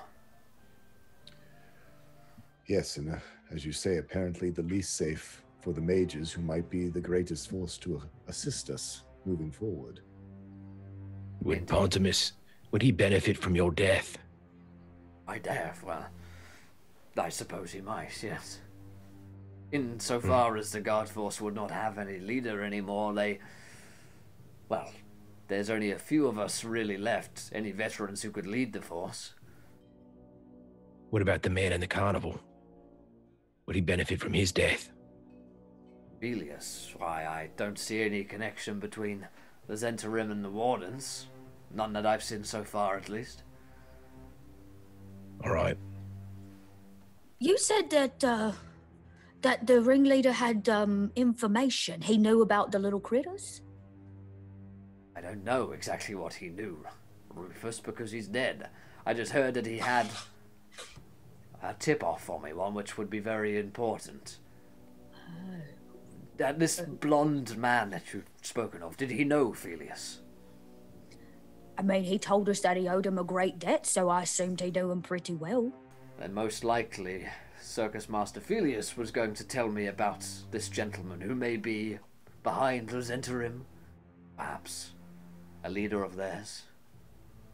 Certainly, he does not seem like a fair man if he's sending out murder contracts. That's true. Alas, we oh. won't know, it seems. So we're supposed to go to Neverwinter, but you're here telling us it's not a very nice place to be right now. Well, Um, does it seem like a nice place to be right now, Eva? Um, is there? A, uh, uh, are we there to like see somebody? How do we get you the information you need so we can make up for this little um mishap Well, I that think the ringleader had? I think the best source of information would be at the College of Mages. I think getting inside there and speaking with the Major's there would be the best idea. That requires us traveling back to Neverwinter, of course.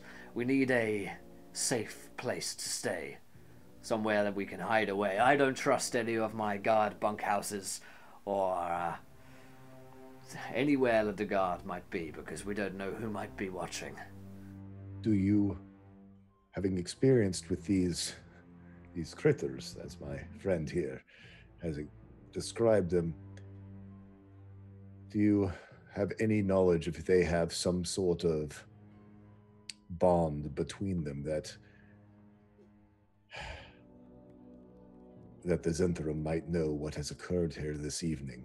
I've never seen one of those things in the flesh. I've just seen a few tattoos that put me on to their case, but uh, I don't know. Perhaps they can see through them. Perhaps they just know where they are. Perhaps it's just a mark of allegiance and loyalty. An initiation, perhaps. Oh, something like that. Huh.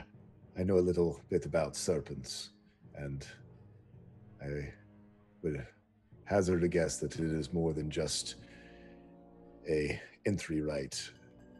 As you say, perhaps it has given them power. However, I I believe we know a place well off the map that we could at least go for the evening. Really? We also have some horses to return.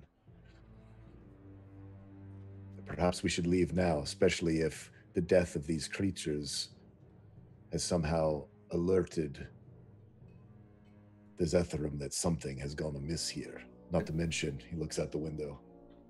The circus is on fire. Ah, yes, that is true. Ah, uh, yes, let us be away from here as soon as possible. If you have the horses, then I can uh, walk again. And he kind of gets up, you know, he's trying to walk. He's going to need, he probably leans on Rufus, who helped him up, uh, to, to walk. Uh, I can make it, I think. Take me to this place. Yeah, let's take him back to Mutts. Lead the way. All right. Question: um, Is that have we during that conversation was it long enough to consider a short rest? Yeah, you can take a short rest there. Warlocks. 15 minutes. Nice. We like that. Nice. Do we have four horses or five horses? Uh, you have four horses. We I have three horses and a pony. Three horses and a pony. Yeah, three horses and a Shetland pony. Okay. Um. It's a, it's a very strong pony, I hear though. Maybe not that strong. I see Right. Rufus looks at it and he stands taller than its like back. Like there's no way. Um. He says, "Well, uh, why don't I um." I'll just strap some things to him, walk next to him. It's fine. I love this little boy. He's so cute. Did, did the Tabaxi have horses? Oh, No. this is um. Uh, do we? Did you name your horses? You always name your animals. Miguel, you didn't name the horses. Am I gonna have to name them all? Yes, why don't you do that for us as we go on our way? Um, I am attempting to figure out uh, the best distribution of weight so that we are able to ride through the night as we uh, need to make haste. Via a complex series of levers and pulleys, uh, you can.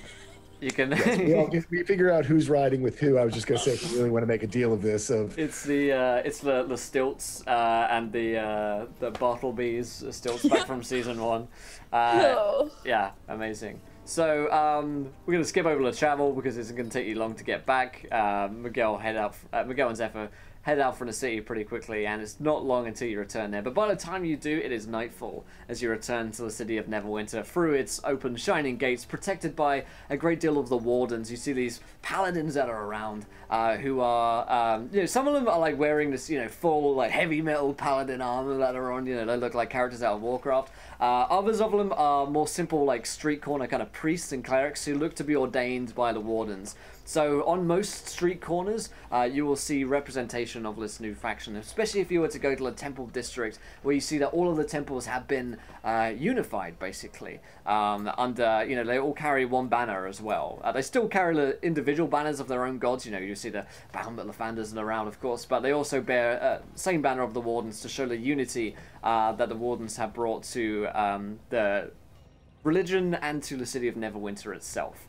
Um, because we are technically sort of at wartime, there is a almost high alert going on at all times. It seems like there's a great deal of uh, forces around who are ready to jump to defend the walls of Neverwinter. And as you return, you see the damage which has been done by the uh, former sieges against the city itself. You can see where parts of the wall have crumbled away and been destroyed and are only now being repaired by masons who are going uh, and you know throwing up these huge rocks up there to try and repair the walls. Um, there's a great deal of um, you know uh, these warden forces around who seem to be ready to jump into action. So uh, you return to Mutt's place, right?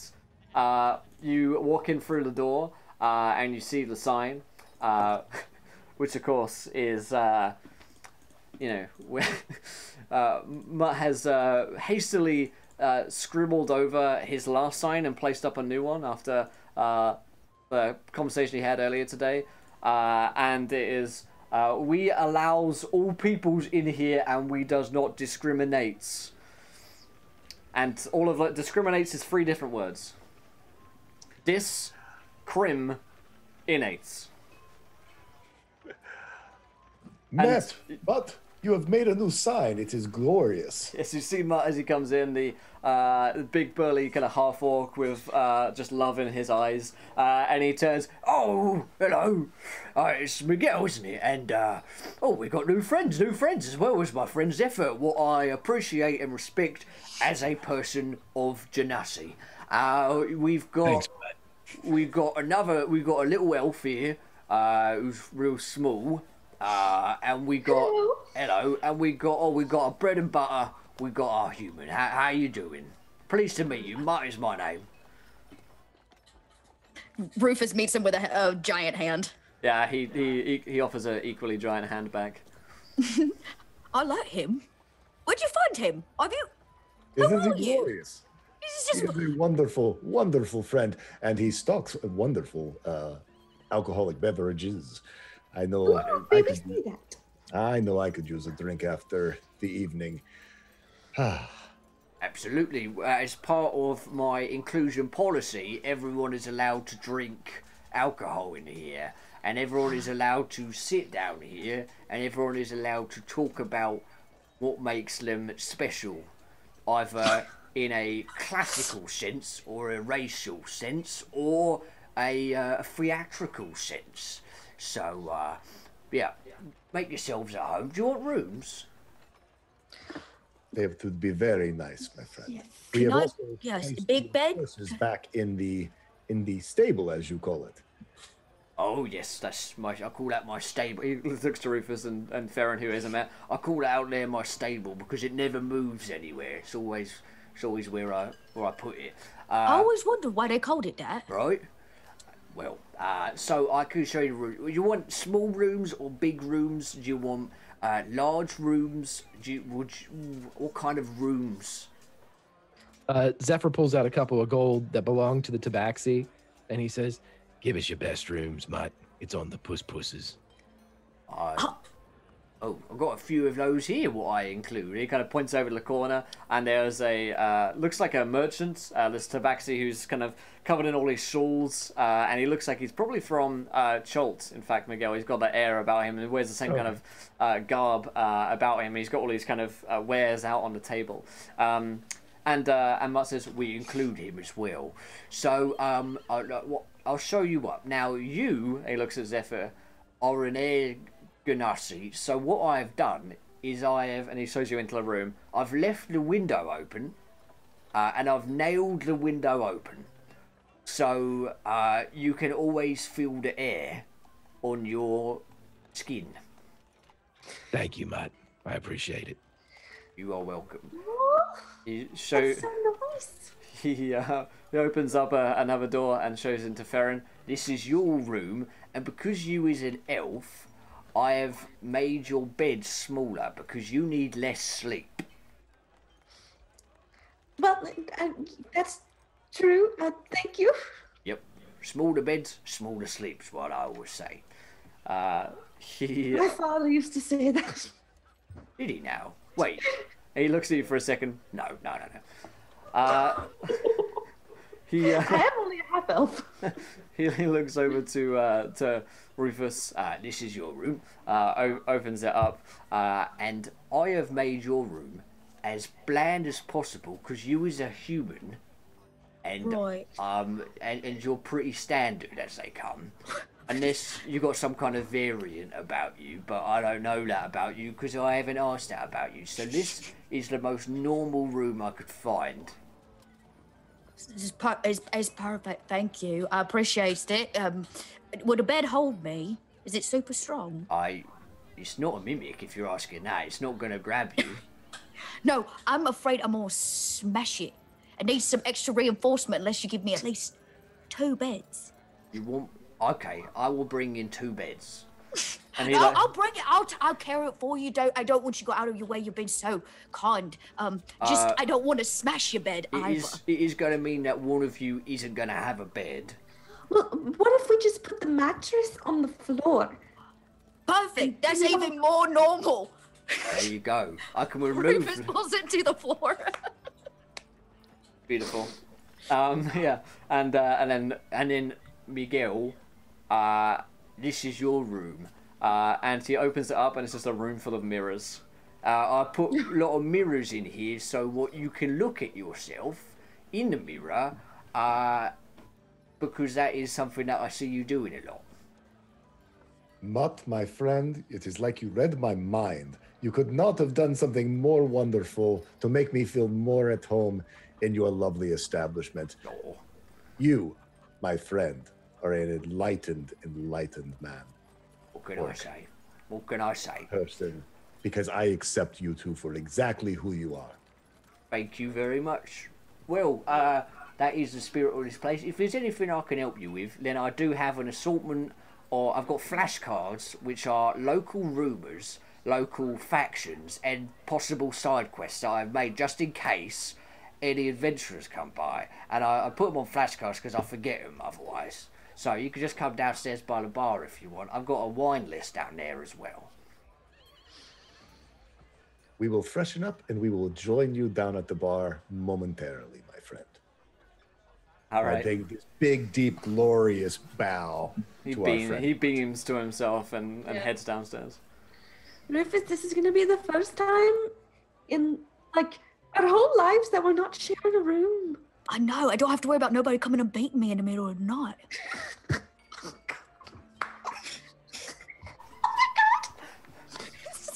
Like a dog. He's so genuine. Um, That was so earnest. I very know. And this time I'm not gonna have to hide pay behind extra you. for someone to come beat me in the middle of the night. you say that now, but they usually don't come as pretty ladies. To beat you, I mean, in the middle of the I night. never It's said not- that it had to be a lady. Rufus looks around.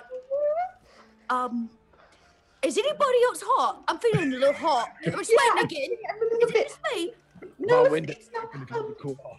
Sergeant Tasker is like, I, I think I'll retire to my room now. Uh, and his room has gotten like, uh, he's got uh, like a conspiracy board up. Uh, Oh, with the, all the because yeah, because because he's a classic investigator, uh, and he mumbles something about the case that makes you or the case that breaks you as he heads into his room. Uh, you know, he's got like black coffee on the table, that kind of thing. So uh, he heads to retire. He needs to sleep. Uh, but it's it's night time, so you know, you know.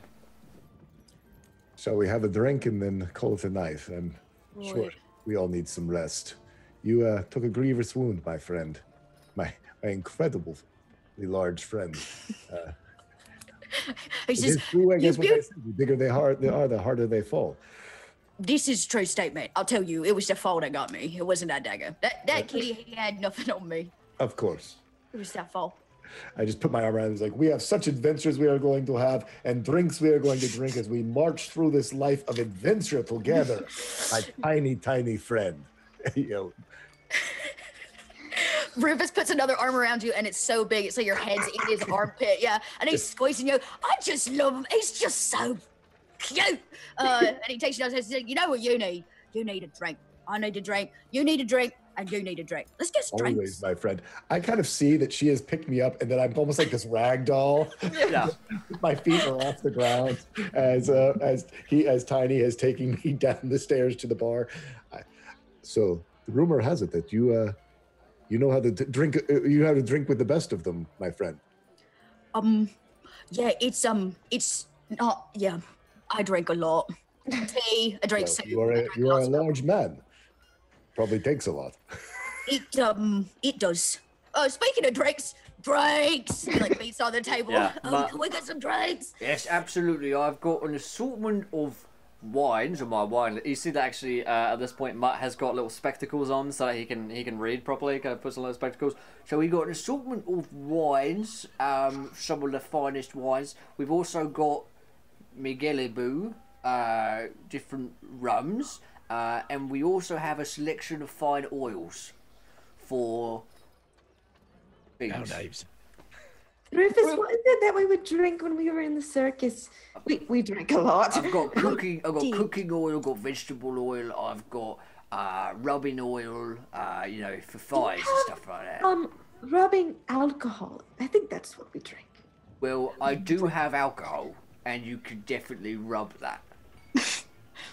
Rufus contemplates that and he says, "Yeah, I'll take some of that. Me too. Take some alcohol. Yeah. All right. I'll take." you you read up the whole list. He's like, "I'll just the beer. I'll well, take the- one the alcohol, wheat- please, sir. One alcohol." So, my friend Mutt, I know you are a man of new experience. May I join you behind the bar for just a moment to see if I can show you something that I learned back in my home of Maztica? I don't see why not. I like to include everyone, including in my personal space. I come around the bar and uh, I see you have the oils here. I assume you have some spices around as well, yes? I do. I do indeed. I have. He brings. He like. He like flicks a compartment, and a spice rack jumps out. This is now this this is convenient now, is it? Now, my friend Zephyr, I know that we we are not always see eye to eye on things. However, I, I have something I want you to try.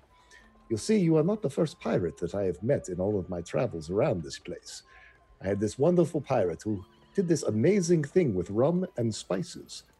Morgan was his name, but I never liked his uh all of his uh way that he tried to sell his product. But uh, he mixes up some rum and spices up, and he goes, "Perhaps we can maybe get something new for all of us." I present to you a Captain Zephyr's. Zephyr Spice. takes it, looks at it, raises one leg up onto a bar stool, and well, thanks a lot, Captain Zephyr. Never thought I'd hear the day. Cheers. Cheers! I get my Miguel Abu. nice. And drink away. I'm sure. Yeah. Look, Look, Uh, the uh, Tabaxi, uh, who's uh, sitting in the corner with all of his uh, items and trinkets, uh, will look over to you at one point in the night and say, Why, you all look like you could use some help. No, if your wounds on your skin are so fleshy and, and weak, perhaps you could do with some of my special wares. um, what do you have to offer, my friend? Uh, he uh, kind of like spreads his arms out in a pretty um, uh, ridiculous gesture at the uh, the trinkets that he has on his table. I have Can- many things: potions, little trinkets, magical items, or a sticky pointy sword. Ah. My name is He Sells Things. Ooh. Once again, please. I'm sorry. My you name- sell things. He sells things. That is a translation from my home tongue. I'm sorry. I don't mean to laugh. It's a beautiful name. Yes. Hometown of Walmart. Um, Yes. Not far from. Well- I go to Walmart. Is a cousin of mine. uh, Will, can we see his forearm? Uh, sure. Uh, he's actually covered in shawls, so you can't see like the skin on his forearm.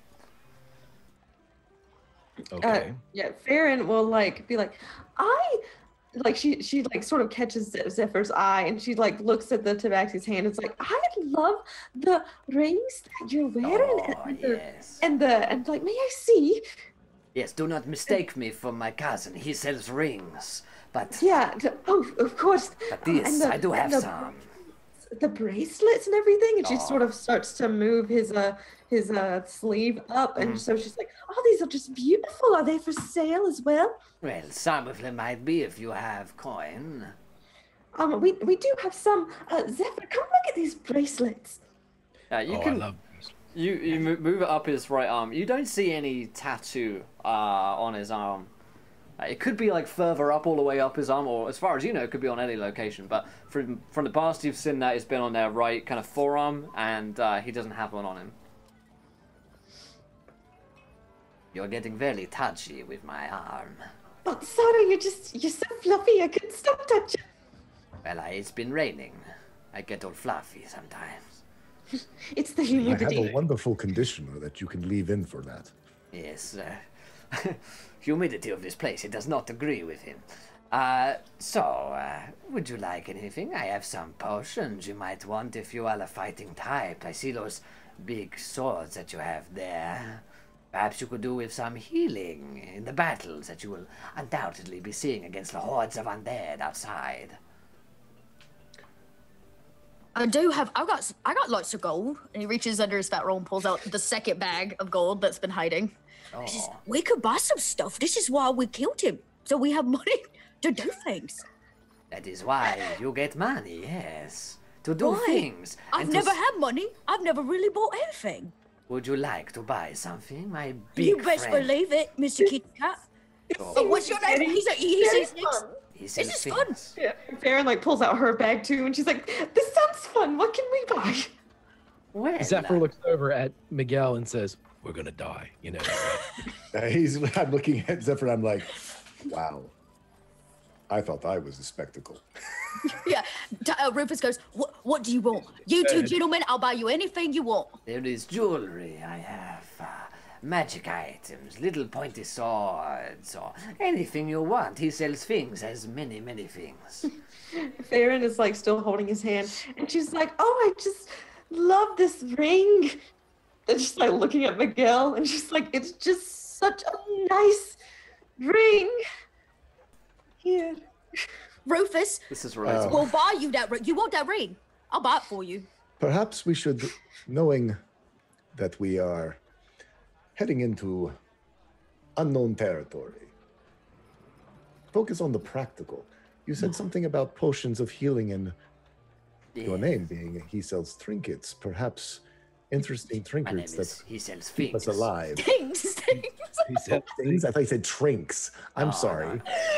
It It's is that my accent. accent. Yes. It is my I understand. accent. He I says, becoming very French all of a sudden. No, no. Yeah. Um, no, no, no. Uh, so, baby. So, uh, uh, healing potions. Yes, I sell these at seventy-five gold pieces a potion.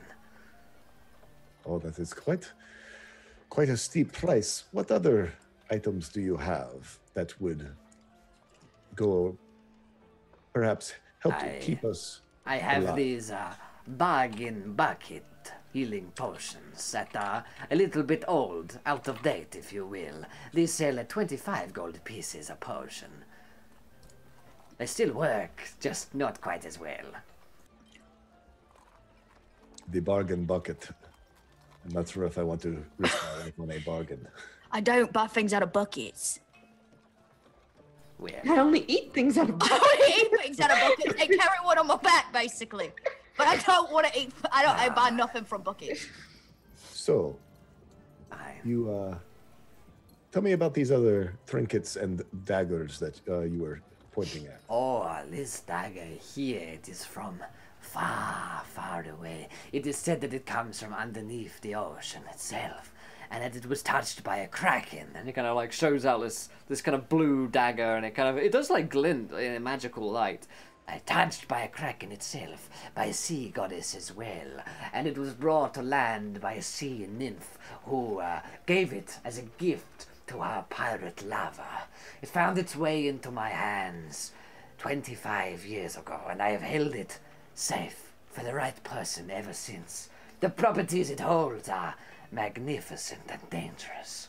can only be wielded by someone who is fit, who loves the sea. That 20 on the insight. Oh, he's, he's totally like like you like look at it again and you're like, is that blue powder? And you're like, like you know, like he's tur- he's certainly got a dagger and probably thrown something on it. It, it. It glinted magically at first, but you're not so sure if this is real magic. No thanks. He sells things. Fine. Doesn't seem to have the, quite the, the glint in the in the air that you theatrically presented to me. Fine, fine, then It's perhaps a lovely story, though. the young lady would like this ring. And uh, the, the ring that Farron was uh, pointing to, it has more properties than just being a ring. I found it. No, it was gifted to me 74 years ago by a princess of the Sword Coast, all the way from Luskan, this jewel of the ocean it comes. And it brings with it great fortune and luck, and it is said to be able to beguile and charm any man or woman whom the bearer wishes to charm. Farron is like slams her hands on the table and is like, How much? Or this trinket here. This will set you back a hundred gold pieces. Yeah, at this point, Zephyr looks at Farron and just says, He's not telling the truth. This is his livelihood. He sees us walk in. It's an act, kind of like the, the circus. He says He's trying to- not lying. Uh, Rufus looks at me and says, "Are you you are you trying to trick us?" Trick you, my dear friend. I do not believe that I could ever hope to trick someone like yourself. No, this ring is indeed said to hold great fortune. I do not claim that it truly does, but if you believe the rumors, you'll know. And there is power in rumors, my friend, as you well know. You are a smart man, I can tell. Well, I'm kind of smart. Um, Oh, you figured me out right away, didn't you? The group. You figured me out right away. I. This ring doesn't truly hold the magical powers, but I do believe that it holds good fortune, for I have never. I have never ever failed on a persuasion check, you know. I have always been able to persuade people to do what I want them to do.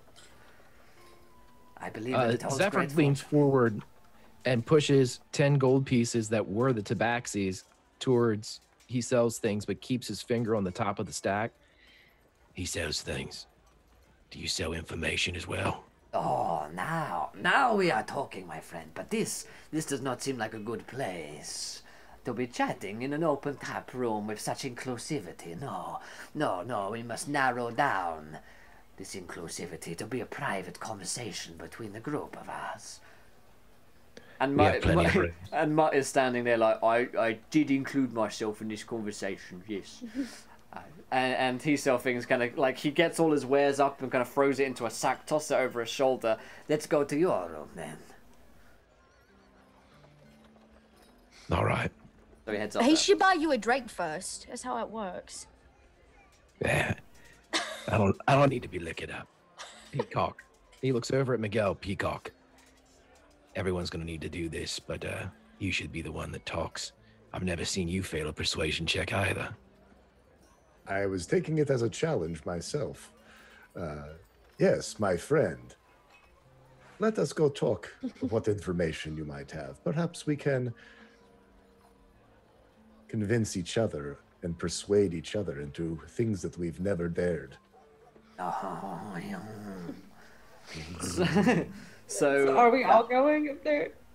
Yes, all join us. Let's see what we have. like, Please, let's all cram ourselves in a room together as Miguel flirts with a lot of us. which like uh, which Farron that's- like slunks behind, and she's like walking next to Rufus, and it's like I'm never gonna Well, get a normally I would do something like this one on the one. Uh, this evening, it seems it'd be best if we all stayed together. uh, which Let's room? do it in my room. Well, yeah, okay. Zephyr's room, yeah. My, my room's cooler. And he looks over at Rufus. You said you're always sweaty. This is true. I, I, I vote his room if it's got to breeze. It's got a breeze. It has been quite literally the windows have quite literally been nailed uh, open by uh, by Muds, and he's really gone to town on it. You know, he's got like five nails in this thing. Like you're not prizing this thing off unless you're like you know snapping out the base. So you walk in uh, and you have the uh, a room with an alley view. Again, you can actually see onto the stables from here, uh, and see your see your horses and ponies that Rufus is naming. Uh, and he sells things, comes in along with you. So, what information is it that you are looking for, my friends? Perhaps you are trying to find a, uh, a lover or a love child. Perhaps we are trying to find something about someone else in imports and exports. What do you know of the Zhentarim?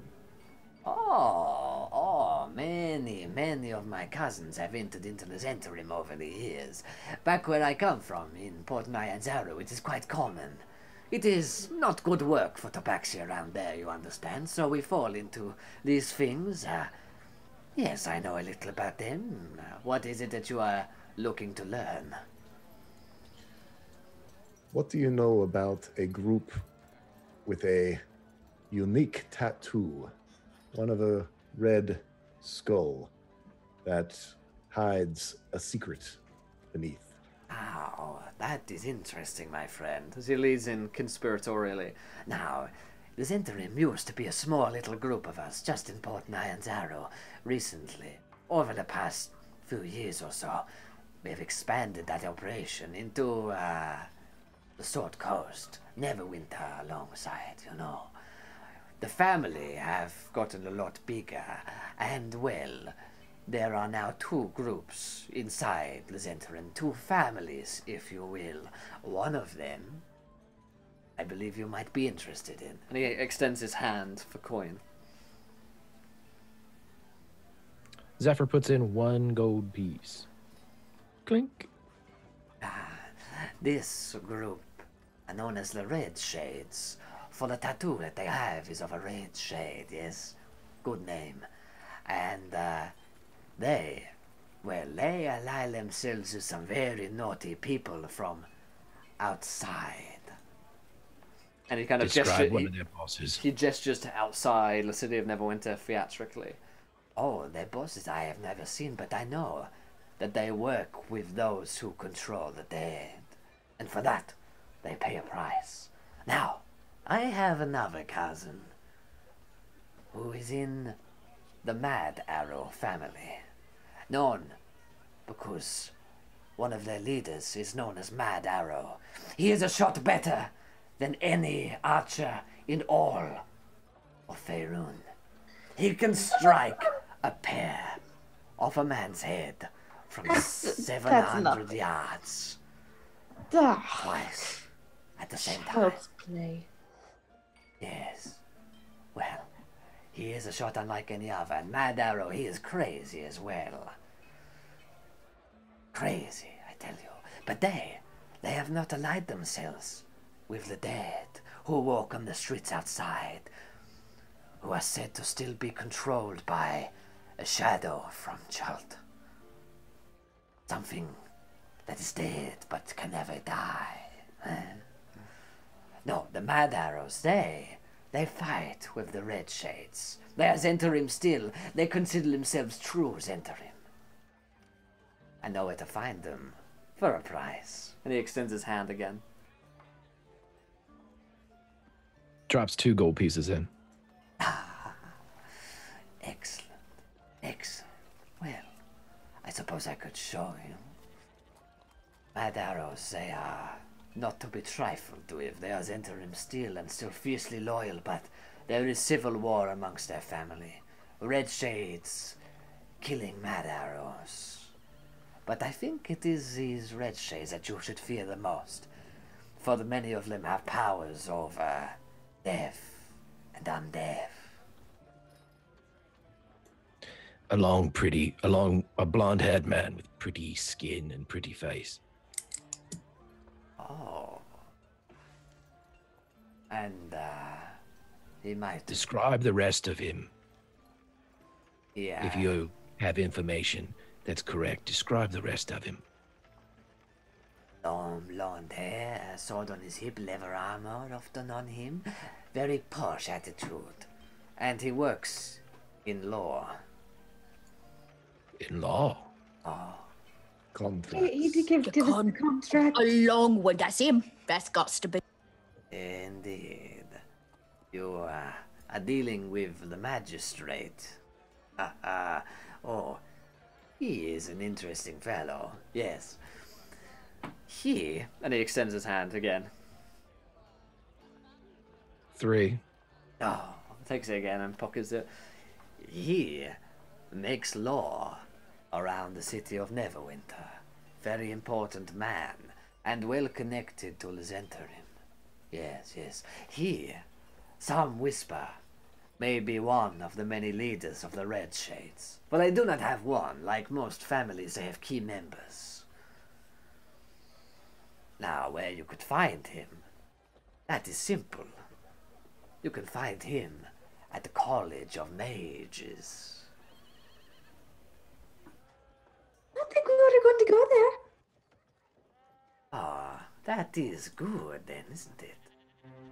Very Fair good. In What? general, when someone can be paid for information, you don't like to give them information that they can sell to others.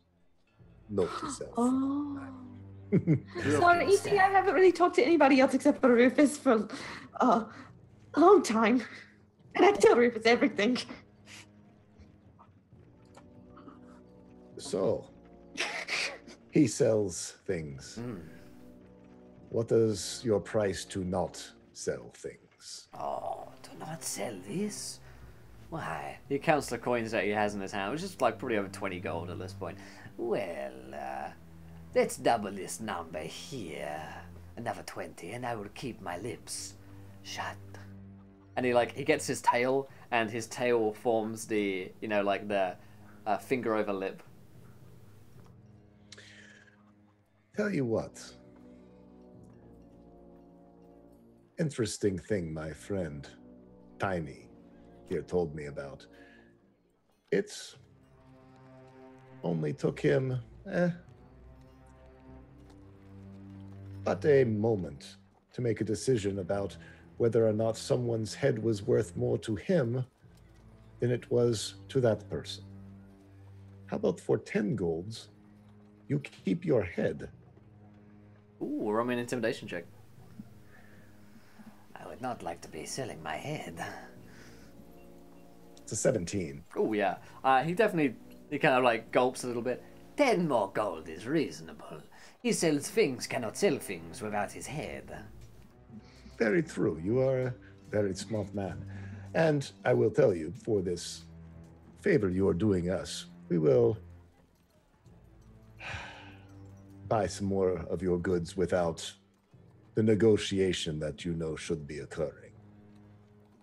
Yes, yes, good idea. A couple more trinkets, perhaps. I'm thinking the potions. Oh, potions, potions. You want the big ones or the older, uh, slightly out of date stale ones? 25 gold for the stale ones or 75 for the fresh, organic, homemade healing potion? Oh, It's vegan. you had me at organic.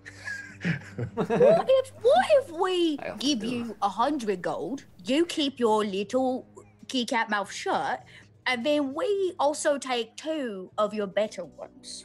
Or you also, and she just like tries to mooch off of Miguel's intimidation. She's like, you also throw in the ring, the pretty this- one. This Yes, for the lady. This ring is worth far more than that. No, no. I think for this, you will have to earn some more coin and come back to he sells things for the coin. But the healing potions, uh, if you buy one, I will give you one free of the smaller, older ones.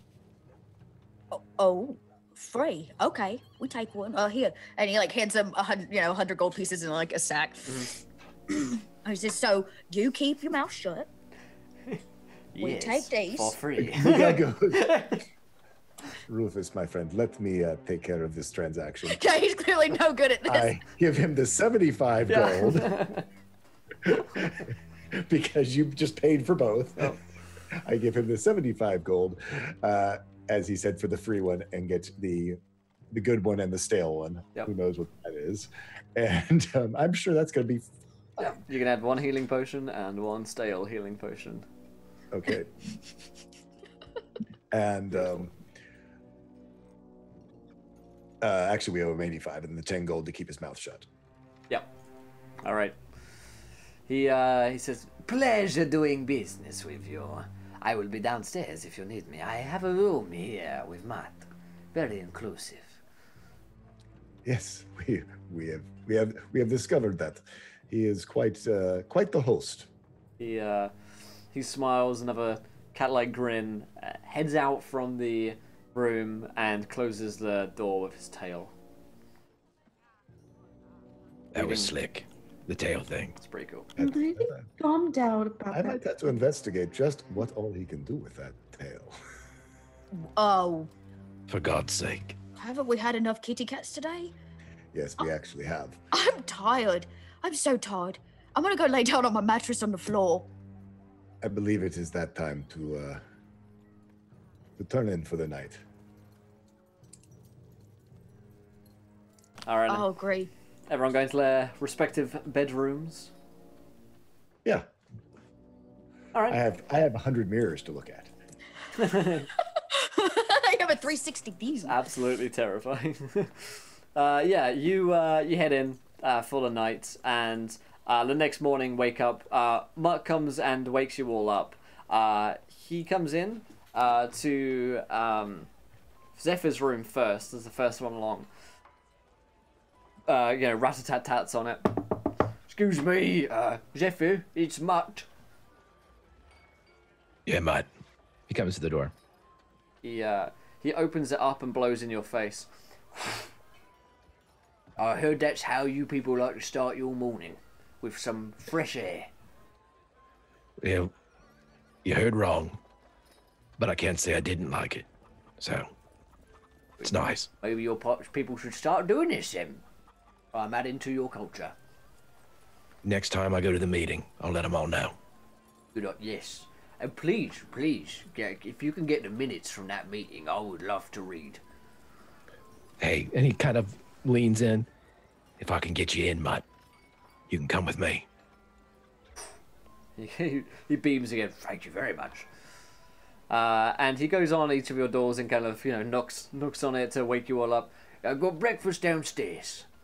And uh, you know, as you head downstairs, you'll see Sergeant Tasker's kind of waking up as well. He's already down there. Uh, he's tucking into a breakfast of eggs and bacon and beer uh, that Mutt has made for him, uh, along with uh, a black coffee and a cigarette. Because Sergeant Tasker is, is is pretty brooding, pretty brooding. Um, so uh, he greets you on the way down. You also spot he sells things. Who's in the corner? Uh, he is drinking milk uh, in the corner, a big flagon of milk, and he kind of waves over to you uh, with his tail as well uh, as you guys walk downstairs. And Sergeant Tasker says, Ah, good, good. Come, come. Sit down. Uh, I've got breakfast for you all. Why, thank you very much. And I look to Mutt and sort of throw him a silver and make sure to keep him coming for our friend. He sells trinkets. He is a most studious friend. "He's yeah." Uh, he goes and gets a I'll just go outside to the cow. uh, and uh, Mutt returns a few minutes later with a bucket of milk, um, and he just like sets that on the table for uh, he sells things. I give him a wave.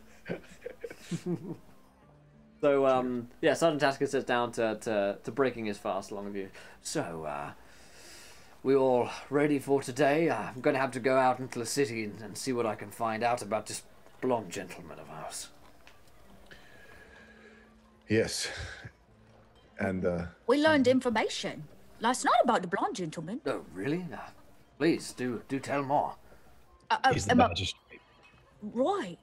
Yeah, yeah. he- The College of Mages. They said he might, he might uh, be there. A He's, magistrate. he's part of the. He's a leader, uh, person of your uh of your cat gang that you were talking about. What were they called? The Red- something- Red shades. that one. Uh, yes. Right. Right. I'll Well, that in that is valuable information. So he, you said he's at the College of Mages. Strange Well- that there'd be a lawmaker there. Well, they said he was a lawyer, right? That's somebody. Does he make laws? So it Because does. if you're a magistrate, you adjudicate the law. So, so yes, perhaps, perhaps in my absence, more has changed than I realized. Um, so are we gonna just be able to like walk in the front door?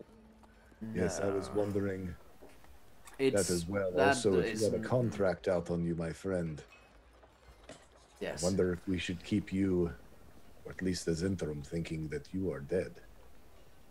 Yes, quite, quite. Uh, it is best that I remain hidden, here, it would seem. But no, getting into the College of Mages will not be a simple task, for it is well guarded by wardens who do not allow any in or out at the moment. It's only a matter of time, I hear, before they shut the whole place down.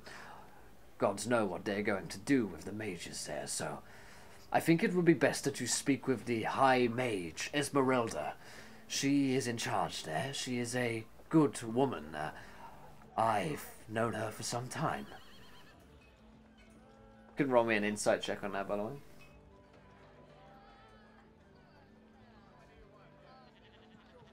Rufus is like, mm, nope. I believe everything. 19. Uh, these two probably have something of a something of a history. Zephyr. He does kind of look away for a minute, uh, as if he's remembering. You know, times gone by. Uh, being being a uh, He like he's, he gets a, knowing about a little bit about relationships, can Miguel pick up on this?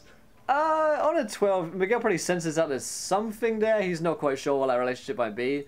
Uh, they definitely know each other. You guys are pretty pretty sure. But yeah, no. Uh, Sergeant Tasker takes a, a s- apart from his cigarette and some black coffee, as he thinks back on all the past cases that he's failed upon. Yeah. So you seem to be a pretty in the know kind of guy. Is there a way for us to like get in without being seen? You know, like one of them back doors or a secret hatch Well, or something? I do happen to know someone who might be able to get you inside. Now, In my line of business, I run into a few contacts who have criminal organizational uh, connections, you see, who, uh, well, I keep on uh, the pay to get information. One such person is a gnome named Fidget. He is a, uh, a tinkerer of sorts and can get into almost any location. I picked him up a few years ago when he was breaking into the Grand Museum of Neverwinter, trying to steal away with some very important masks. Ever since then, I have Fidget on my payroll. We've come to an understanding. Any big jobs that are happening in the city, Fidget lets me know about, and if I have the gold or if I allow Fidget to take a few things from the location I'm looking to get inside, well, Fidget takes his cut. So where would we find this tinker and gnome? Well, nah, he's not far from here, actually. I can give you his house. He lives in a, uh, quite a nice mansion, actually. He's grown rich on stealing from. Ooh. I've never seen a mansion before. Is it a gnome-sized mansion? Will I get in the front door? It is a gnome mansion, yes. Oh. He's had it built. Uh, So do you considers mean it's basically a, like a normal sized house? It's basically a house, but it is a gnome mansion, yes. Fidget considers himself nobility now that he's stolen enough trinkets and baubles to make himself rich. It's a mansion with a G. Yes. He, uh, you know, he'll give you the location of that. Okay. Um, and once we get inside the College of Mages, how will we find your friend, Esmeralda? Esmeralda, well, she is a high mage. Once you're inside, not sure how the mages will react to you being there, so it might be best to remain undercover. Esmeralda will be at the bottom of the tallest tower. She doesn't like to play by tropes. Hmm. Interesting. Um, I look around the table at us. Probably should be the shortest tower, really, shouldn't it? We are not the most subtle group of adventurers. We are a wild cards, you might say. Yes, well then, there's a hope that Fidget can get you close to that location. Yes. Unless you have some other guys. I have to admit that uh, this is subterfuge is not my area of expertise either. I'm more of a. Neither is his mine. I've noticed that. Sergeant, you said something about the the wardens and Marcus Pontimus moving against the College of Mages. What's the time frame on that? What are we working on here? Day, week? I believe it happens tomorrow. The taking over of the College of Mages, so we do not have much time. We have today, and well, who knows when they strike. I imagine that they will come early and try and shut the whole place down, arrest them and the like. We should move with haste then. Agreed. I like that. The Yeah. group, the group name is Wildcards. It totally is wild. it is wild cards. Number plays absolutely. Awesome. Wildcards. as soon as I said it, I was like, absolutely. Yep. Yeah. Let's Oh. just hypothetically speaking, my friend. Yes. If we get caught, what might happen to the lot of these here wild cards? Well, you're. You would go bust. Let's stop analogy. Uh, the, no, uh, you. Uh, You say bust. did somebody say bust? Where? Uh, he says, Well, I'm not sure how much I could do. If you fell into the guard force's hands, then I could probably get you out. But if the wardens took you, or the mages, then, well, you're on your own. I, we must be careful then. Right. I think it is time for us to see if our patron has chosen, has drawn her cards wisely. For, yeah, we gotta get off this. Right. Stop Get this at once. Um, yes, Yeah. but Well, we the should. horses are ready. Is it a very far trip to see this this here tinker and gnome? Other side of the city in the nobles district. I keep getting really nervous because we keep doing things that are going to get us in trouble, and we always have to worry about being caught. Now we have to worry about being caught for killing the the the, the circus guy, and we have to be worried about getting caught for killing all those cat people, Shh, no, no, no. Shh, we he doesn't know. Shh. kissing all those cat people, Right. Um. And now we have to go to this thing, and li- we have to worry about getting caught with that too. And I s- the, the list is piling up. It's a lot of things that we could get in trouble for. Farron, life is trouble.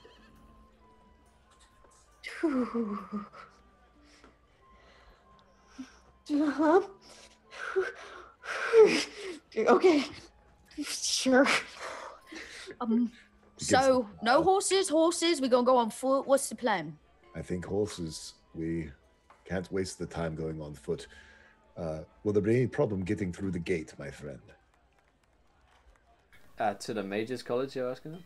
Uh, getting through the gate, like into the city, are we? Because we're guys- uh, we're No, you just guys outside are, the city. No, you guys are kind of in the city at this point with with uh, with Mutt's. Uh, Mutt is Oh, inside the city. okay, I Yeah. didn't realize that Mutz was true. So yeah, you you won't have any trouble getting through. Uh, Okay. You already are through, but yeah, getting into the College of Mages is the so getting to Noble's Quarter isn't a problem. No, getting to Noble's Quarter shouldn't be a problem as long as no one is like displaying any signs of like obvious magic casting around. Then then that might get you in trouble. Okay. Uh, which also would suggest that he sells things. Uh, if he does have any magic items, then it might be a bit illicit that he's selling that. Um, But yeah, uh, so you're heading off the horses to the nobles district. Yeah. All right, saddle up on the ponies, uh, the pony and the uh, the horses. Oh, they have names now. I named your horses because you failed to do so. So, um, yours, Miguel, that is Doolittle. Um, uh, Zephyr, you have Krabby Abby because she's a bit of a wild card. Um, and then, oh, Baron, you get Sunshine. She's just the loveliest pony. And this here, and he points to the tiny one, this is Colossus. Is that one yours? Well, of course, he's the greatest horse that ever lived. and I can't even ride him. I walk him the whole way there. Oh, I was gonna say, does he ride you? No, but I carry him. Colossus casts a very long shadow as you head out from the uh, uh, Mutt's uh, tavern and heads towards uh, the nobles Leave the district. light on for us, Mutt. We will return. I do never turn off my lights. That's just not the kind of person I am. just have to shuffle off. So you leave up behind, and we're going to head into our second tomb insight of the night at this point before we go to the Nobles District and meet Fidget the Gnome with his gnome-sized mansion. So we'll be back with the players here in a few minutes' time. Good luck, players. Bye.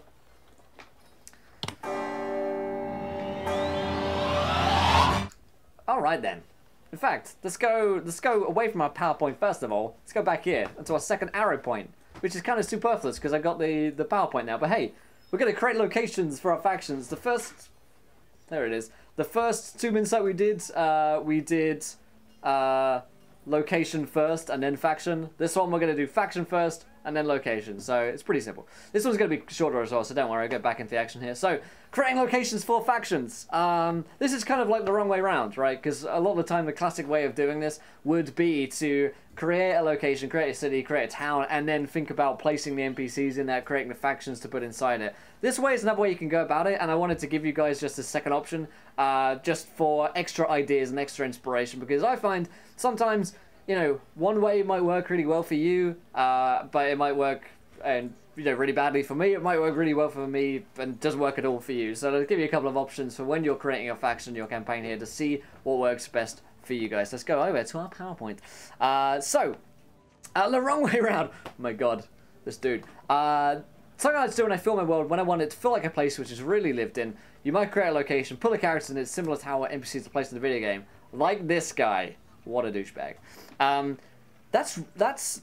I mean, that's all the slide that I have for that, and I wanted to show the picture of him than anything else. I just wanted to talk about it. Um, so the way of doing this, I see going around. Uh, the, the best way that I see going around doing this, I suppose, um, would be to create a faction first of all. You've got a cool idea for who the faction is. You've got this this dope idea for this group of I don't know this group of cool assassins, right?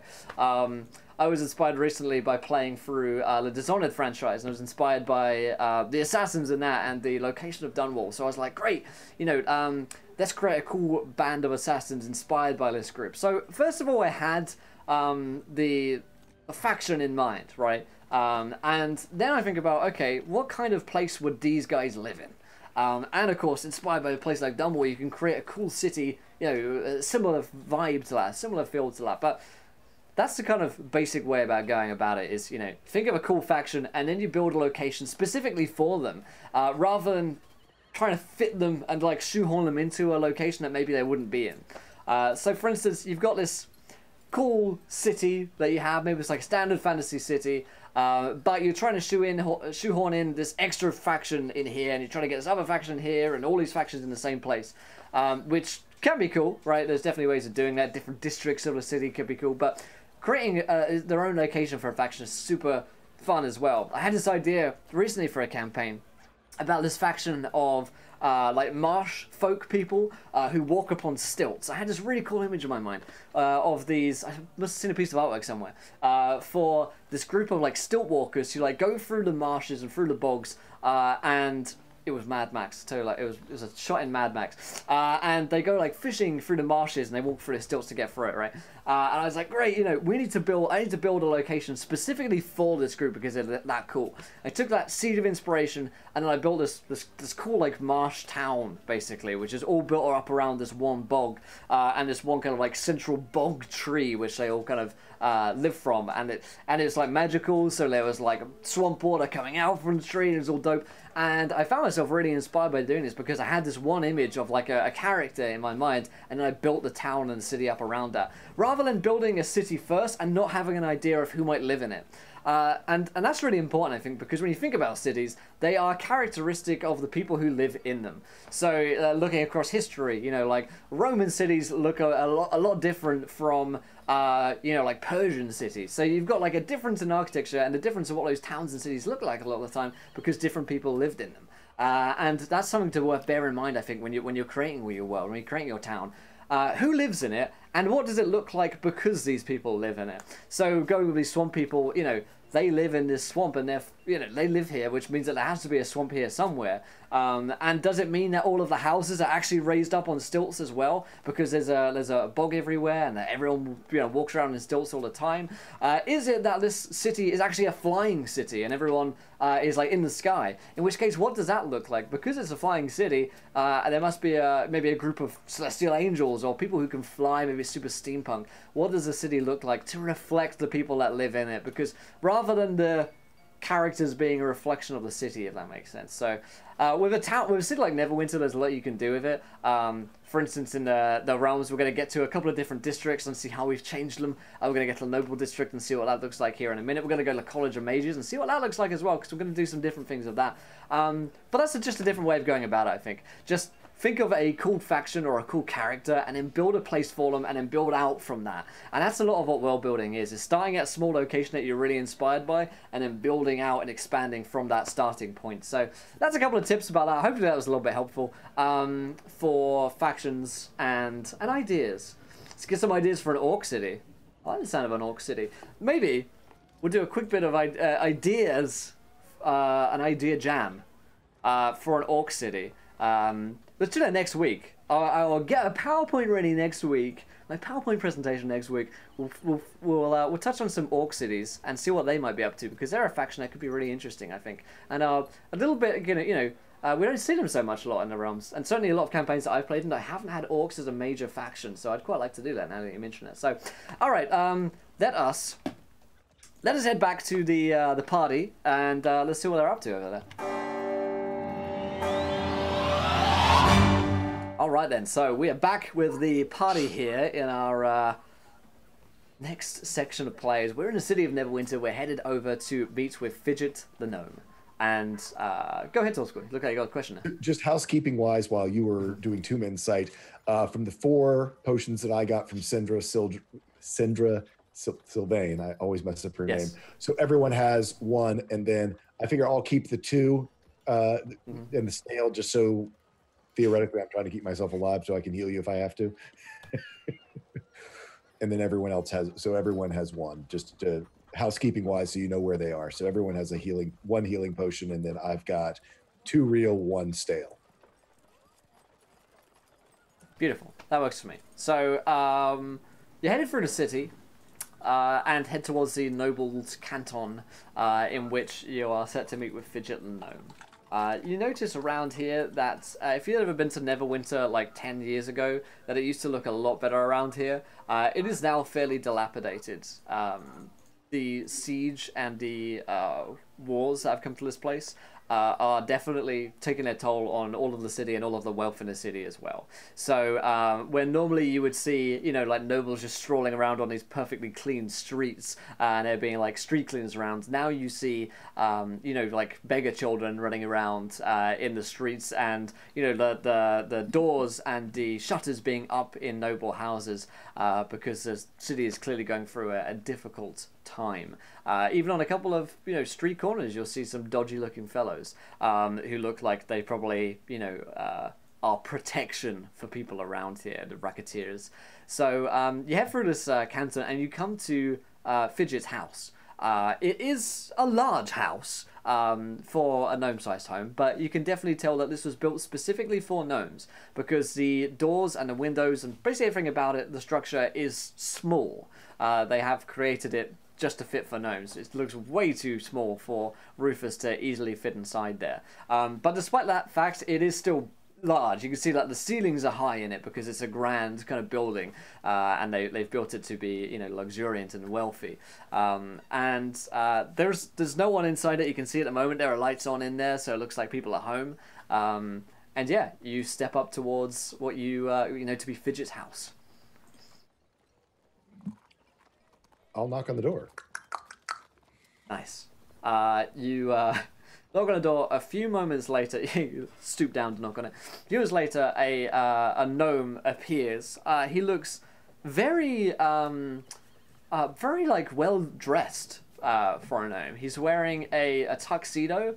Um, and he's wearing these like tinted glasses, which which are black, um, to basically sunshades um, to to protect his eyes from serious sun, uh, and looks uh, at Lee. All right, what up? I am looking for the esteemed and renowned Fidget the Gnome. Fidget, fidget, fidget the gnome, fidget the gnome, fidget the gnome. Pleased to meet you, fidget the gnome. That is me. I am fidget the gnome. What can I do you for? Who can I do you for? What can I do? Why are you here? What do you want? We hear that you have a friend that uh, you uh, once in a while get tips from to uh, gain your wonderful wealth and uh, establishment here. Perhaps we should speak uh, inside your lovely home instead of here on the street. Ah, did he send you, did he? The old one. He did, in fact. Yeah, he turns up his nose. Fine, you can come inside, I guess. Don't break my door! He shouts at Rufus. Come on in. Am I am I actually gonna be able to fit through it? You you can squeeze through. You're gonna have to get like on your hands and knees. Rufus, do you need me to put oil on you? Yeah, um, yeah, oil me up, Okay. squeeze me like, through. Farron is like puts some oil in her hand, it's like rubbing it on Rufus, and she's like, "Now we'll just squeeze you in, just, I can wait outside with Yeah. Rufus. Is that a- just, you know." We could wait outside, I guess, and make watch, make sure nobody follows us. I'll- I'll- We can, I can wait with you, Rufus. He looks at Farron. why don't you go ahead with Miguel? I'll wait with the big man. Yeah, we'll wait out here. You go. You're so charming, Farron. Maybe the little gnome will like you. I look at uh, I look at Farron and was like, I did not know you were so adept with your hands and with oil. I will keep that in mind. Come, let us visit the no- this gnome digit? And she like um wipes her hand off a little bit, like on her shirt, and like extends it to you to take it as you walk into the I put my arm out graciously as we, I assume, all but have to get on our knees to go through this door. yeah, escort her in, and she's like, um, yeah, I've, I've been um, I've been doing things with with oil for a, a while. Tell me the wondrous things that you have done with oil and your friend Rufus. I have um, I have some stories I can uh, we can talk about uh, later. And she's not trying to insinuate anything at all. She doesn't realize that this is sort of an And innuendo. he's just like, uh, I he's got a raised eyebrow. I'm not sure if I can compete, compete with such a man as Rufus, but we have business Oh. to. And uh, we follow Fidget to wherever he leads us. Beautiful. Uh, yeah, Fidget uh, leads you inside his pretty grand home. Um, he's got all sorts of, uh, you know, like paintings, decorations, artifacts around. This is clearly a very wealthy little gnome. He steps through past servants. Uh, all right, all right, and he uh, kind of lets you into a uh, like an office room, basically. He's got a desk down there and tons of like artifacts and books around him. So, what do you want? We need to get hmm, we need to get into the College of Mages with some haste. Hopefully undetected by the wardens who apparently have set up guard around it. Really? Is that so? And that is what that guy, what his name, he is. He's told you to do that, has he? Yes, he said we're supposed to have a contact in there. Um, One Esmeralda. Eh. He shrugs non-committally. Yeah. What's in it for me then? Because I to- am, I am Fidget the gnome, Fidget the gnome, Fidget the gnome. So what am I supposed to do? Why am I doing this? What is in it for me? I suppose would be my main question. Why am I doing this for you when I don't even know your goddamn name? Well, I am Miguel Ortanava. What is I am very that name? pleased to I am very pleased to meet you and see your magnificent collection here. It comes to mind that someone with such an amazing collection as this would certainly want to always expand that collection and what better to be a capstone piece on such amazing items if it weren't amazing magical items. I would assume that while I have, well, we are speaking with the head mage, Esmeralda, that once we are all inside, we have no concern where you might go, what you might find, or what might happen to find its way somehow, be misplaced within this tumultuous time at the Mage's Tower. Let me uh, a persuasion check, yeah. You can gain advantage on it. He really wants you to. That's a 19, and thank goodness. Mm-hmm. Holy, that is lucky, yeah. Uh, he's like, huh. Well, I suppose I could do with a couple new trinkets around. I am Fidget Alone, Fidget Alone, Fidget the Gnome. So, uh, alright, maybe I can. Ain't gonna be easy though. It's gonna cost you up front as well. How much do you need? Well, I'm gonna need materials, love, ain't I? I'm gonna need some materials to get us in there. Because ain't gonna be easy. Ain't gonna be easy. But I am Fidget Gnome. So, perhaps I could do it. But, first of all, gonna need, uh, front up investment to show that you're, uh, you're being real, you know? So, what you got? Um, it's fair. It's like sort of like looking in her pockets for stuff. Uh, I have um, have some uh gold. I have gold pieces. I have a, Boring. uh, I have a dead rose. If you might want. No. I- Do I look like a man who needs gold or dead roses? Well, I it's, it's kind of sentimental. Like it's probably. Oh, okay. One moment.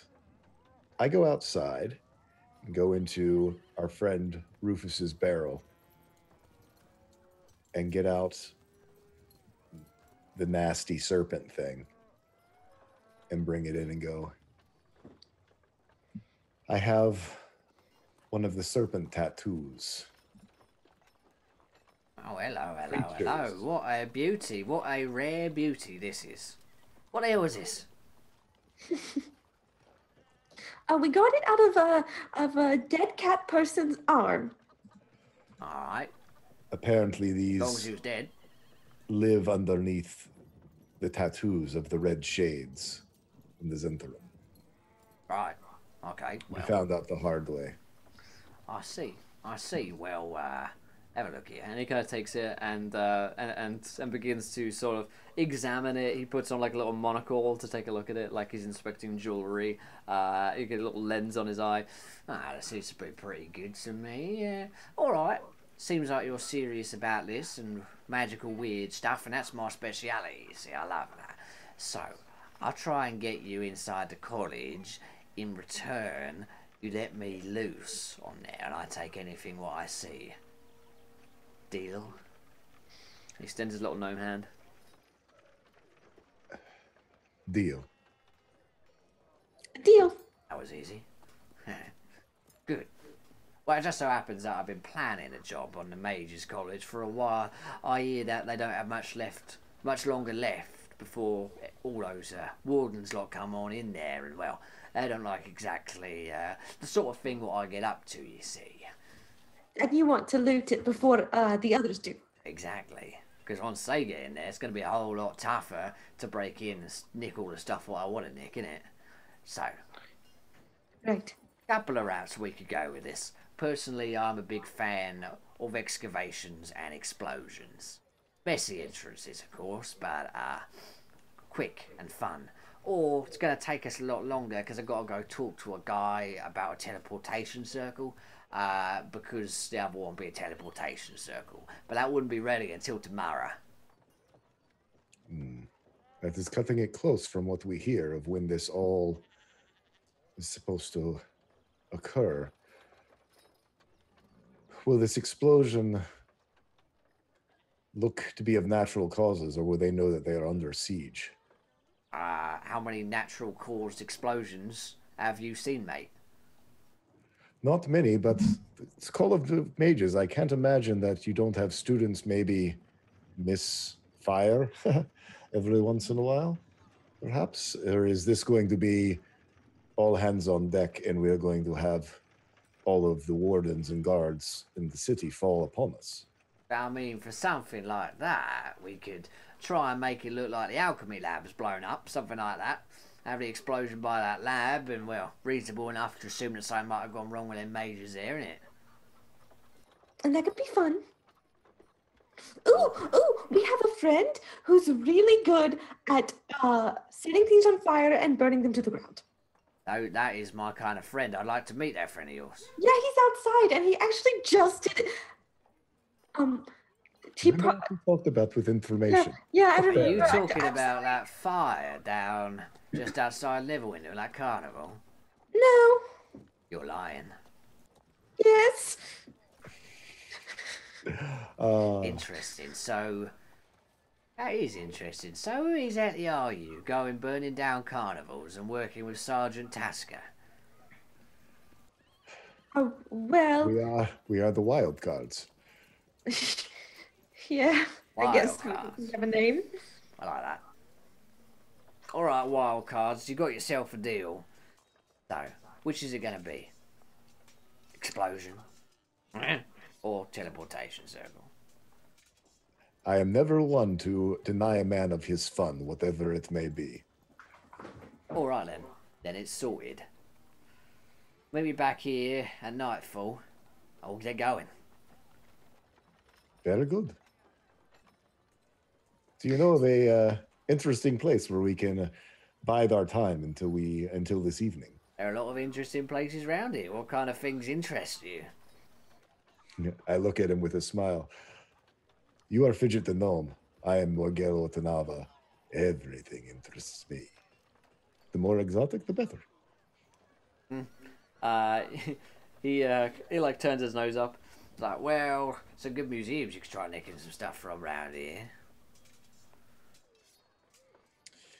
Someone mentioned masks at the, a museum. Ah, yeah. Yeah, that was my, uh, well, mistake. My one mistake. You're allowed one. Of course. Well, What, what do you mean exactly? Those masks are what got me caught in it. So when Tasker caught me, and now I'm working with him, innit? They are very beautiful masks, those ones. He kind of leans in. You're clearly talking about his like pet passion. Uh, right. Yeah, those masks particularly uh, beautiful. They have powers beyond that of most people, but they're protected by the wardens, you see. You know, rumour has it that if you can wear that mask, disappear completely, vanished, like with magic. And only when you take it off will people see you, and even then, they see what you want them to see for the masks have great many powers. Unfortunately for us, they are holed up between 20 metres of concrete and 100 wardens or so ever since they caught me. I got out, Well- don't worry, did my time, you know, community service. And you're in debt. You're in debt indenture to uh, our friend Sergeant Tasker. Perhaps we maybe should just tour the city, maybe get a layout of where these wardens seem to be concentrated so that we will be able to. In fact, that is something you might be able to help me with, help all of us with. Alright, I'm helping you a lot already, though, aren't I? Well, how are you planning on getting out? There will be perhaps with us quite a few mages that we need to move out of Neverwinter in a invisible manner without having such things as these Well, I didn't know that was part of the job, did I? You need to get invisible mages out, or mages invisibly out. Where do you need to get them to?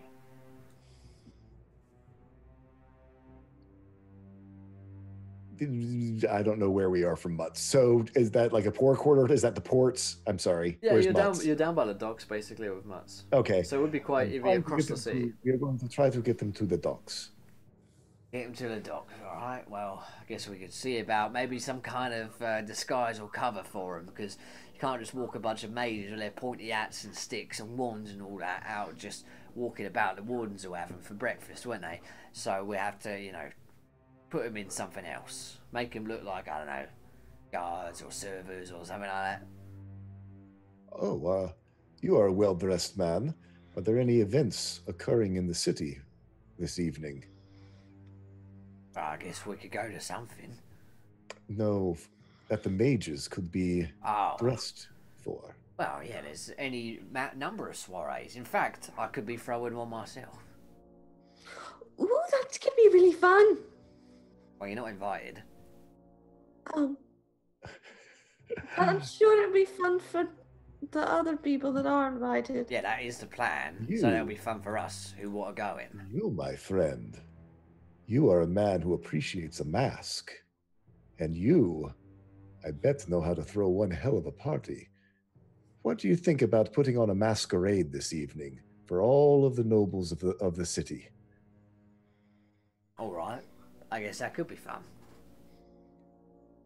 And then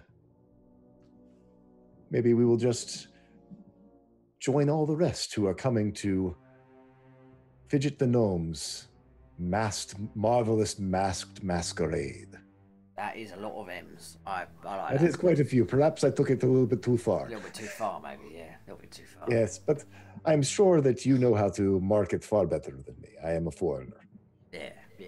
All right. Well, in our case, Could you perhaps maybe do you know are the mages allowed to leave the tower now? Are they being held within under house arrest, so to speak? yeah, they ain't getting in or out of that place. Ah, Not unless they teleport or something like that, of course, but I reckon they're being watched. yes. Ooh. So we need to invite the people that would be watching them. You want to invite the wardens here to my house, to Fidget the Gnome's house. Well, You know, Yeah. there's the, the, the there's the bloody police, love, out there, and I've got about a million gold pieces worth of stolen goods in here. I mean, well, see, what's a better way to throw off the their suspicion than to just invite them and throw it right in front of their face? They won't expect anything. I'll tell you what a better way of doing that is, is not inviting them into my bloody house. I would have to agree, my dear. Um, that perhaps. Ooh, This is why I said I should have stayed outside. Oh no, you're doing wonderfully. You're doing wonderfully. Um, I gives her the smile. Just if we can get, you know, I assume that when large parties happen around the city, you you might have uh, a custom to have the guards look the other way in case things get a little rowdy, a little uh, illicit. Uh, Sure, sure. things a little stronger than drink might be passed around that we might not normally have at such uh, you know that the, the law might not look Yeah, no, we do a lot of grade A drugs, actually. well there you have it so uh perhaps maybe just a normal party with masks that you throw and spread around the normal coin you would spread to have the law keep the way business as usual All but right. lots of people in the streets coming to your wonderful party in masks. I like it. Tell you what, you could do me a favour and pick up my uh, my delivery. Wink, wink. By which I mean of Class A drugs. Of course, we are friends in this, are we not? Exactly. So you will do the deal. Wink, wink. By which I mean, give them the money what I give you to get my Class A drugs. Who Just so will I be dealing with a Zhentarim? That is my only question. No, no, no, no. He's a mate of mine. Oh, of course that I will. You do us a favor, we do you a favor. All right. I'm sure that you can make this party like none other and insist everyone wear masks. You uh, you see him as he gets this like parcel, brown paper parcel out, and like slides what's clearly you know like uh, gold pieces uh, of of gold across. He'll be just opposite the street. Uh, perfect then. All right. I'll be seeing you then. Lots of love. Yes. Bye bye. Bye bye. Bye-bye. Bye-bye. Bye bye. We're in Bye. such You're not gone. Bye bye. I'm this, is, this is a hit. walking out. Goodbye. Goodbye. Bye. Goodbye, my friend. And Yep. He uh, he lets you outside, shows you out. Uh, Zephyr, Rufus, uh, you Yeah. watch as Miguel and Farron return. So Baron looks at Rufus, uh, not Rufus, uh, Miguel, and says, "So are we going to the party or not?" we are going to have put all of the mages in masks, and instead of attending or uh, look as though we have just attended, and then continue on our way back way, so that hopefully we'll be able to mingle with everybody else. Okay. Most of I the see. are probably well known. This way, they if everyone is wearing a mask and everyone is in disguise, then no one is. Great. I'm invisible in a crowd, much Oh, like that myself. would be so fun. So when you guys, hi. so when you guys come out to uh, join us, you catch the tail end of Zephyr holding up a small bottle of oil, and he says, So you just rub it on your thighs and they don't Just- chafe anymore. Right. It's just all on the inside. You gotta really get into crevices though, because if you miss some crevices, they get dry and they'll crack. Oh, right, right. All right, just a little bit. Yeah. Something like a thimbleful. Right. Rufus is gingerly petting his pony, his tiny pony, while this conversation's happening. Uh, That's it. And you just, that's why I get um Farron to help me, because even though I'm a pretty dexterous gentleman, there are some parts that just, you, c- I can't quite reach on my own. Right, you, you, you need eyes on it. You need, Yeah. like, Right. yeah, Everything's better with friends. spot me. friends that can keep a secret. I cannot agree more, my friends. Um, so how'd it go talking to the little one? We have a Having a party. We're going to a party. I've never been to a party. We'll be Wow. going to an explosion. Um, Yeah. We don't really get to party with everyone else. So what are we doing? Uh, we need Zephyr to uh do that whole burn the place to the ground thing that he does really well. I, Well, now you've I got good use for that all. I think Fidget is taking care of all of the burning to the ground and explosions. Oh, Yeah, Oh, and we you. have to pick up drugs. What? That I did. We did agree to. Mhm. I explained to them the uh, the plan. Uh, basically, that we are going to blow up the alchemy lab, get into the mage's quarters with Fidget. Let Fidget is. We're not going to worry about what Fidget does. we need to take with us. We need to go buy masks. I have. Right. Do we have any idea how many mages we're dealing with Mm. from the list? Yeah, from you could you could roll like a history check. On Syndra, Syndra, Syndra, Syndra. Oh yeah. Oh right. Yeah. Sure. Let me roll that history check. There's three. Uh, yeah, you're like, oh, there are definitely some mages in the mages college. Ah, So I, we will get. We should get enough for plenty. Um, but anyway, so we have. I look at the two of them. My friends, you get to shop, um, as we need to procure masks for ourselves and whatever mages we are trying to sneak out. Oh. I apparently need to go pick up drugs for the party. yeah, you see like there's a dark alley opposite you. There's like there's a shadowy figure there, probably waiting. I look to uh, Zephyr. Uh, would you like to join me, my friend? I am not sure what I've gotten myself into. Yeah, me neither. Um, for a moment, he walks over towards Rufus and just acts like he's getting something off of uh, what's my Krabby Abby. and as as when he gets close enough to Rufus, he sort of whispers in Rufus's ear and says, Next time we're going in, they can stay out here. We can't Worse. mess as bad as they have. he whispers back, let's hope the doors are bigger. Right. he turns, I'm coming. Right, right. No whispering here. Guess I'll just wait here with the horses. Uh, I'll wait here too. Um, kind of. I don't really want to go down there. It's very scary. All right, Peacock. Let's do your, your, your Miguel and Zephyr head down. All right. I didn't know what we are going to face here, but hopefully it is just a transaction. You uh, you see a large shadowy figure who's kind of like hiding in the darkness here, uh, back to you. Um, looks to be you know like could be like six, six and a half, maybe even seven feet tall, uh, and um, just kind of like got like kind of calling you over, you know. I uh, head over with Zephyr at my side. Kind of "Yeah, calls Zephyr." Zephyr's looking up, around, all over the place. calls over from his shoulder. Looking for some drugs. I uh, my uh, a, a a friend much smaller than you has sent me for his parcel. Why? The figure kind of turns round, and then the darkness little cowl up, hands you some, hands you this package. There you go. I put some. I, I put. I put some extra stuff in it because I thought it would be nice to include it. You know. Matt? Matt. What? How'd you? That's not my name. It's mud, isn't it? It's absolutely Mutt selling you drugs in a dark corner of Neverwinter. And of course, that's where we're going to wrap up our session for tonight. Can I just do? I give him a giant hug as soon as I realize it's him. Yeah, Zephyr joins in on that one too. Uh, oh, he's got. He's, I love Mutt. For life. well, my friends, that's where we're going to end tonight's session of Learn by Play. Hopefully, you guys enjoyed it as much as we did. A lot of fun as always here. Uh, it's been great to be here. Thanks so much to Wizard of Coast for letting us be here on the channel every Saturday. Come back same time next week for more. Every Saturday, 6 p.m. Eastern, 3 p.m. Pacific time.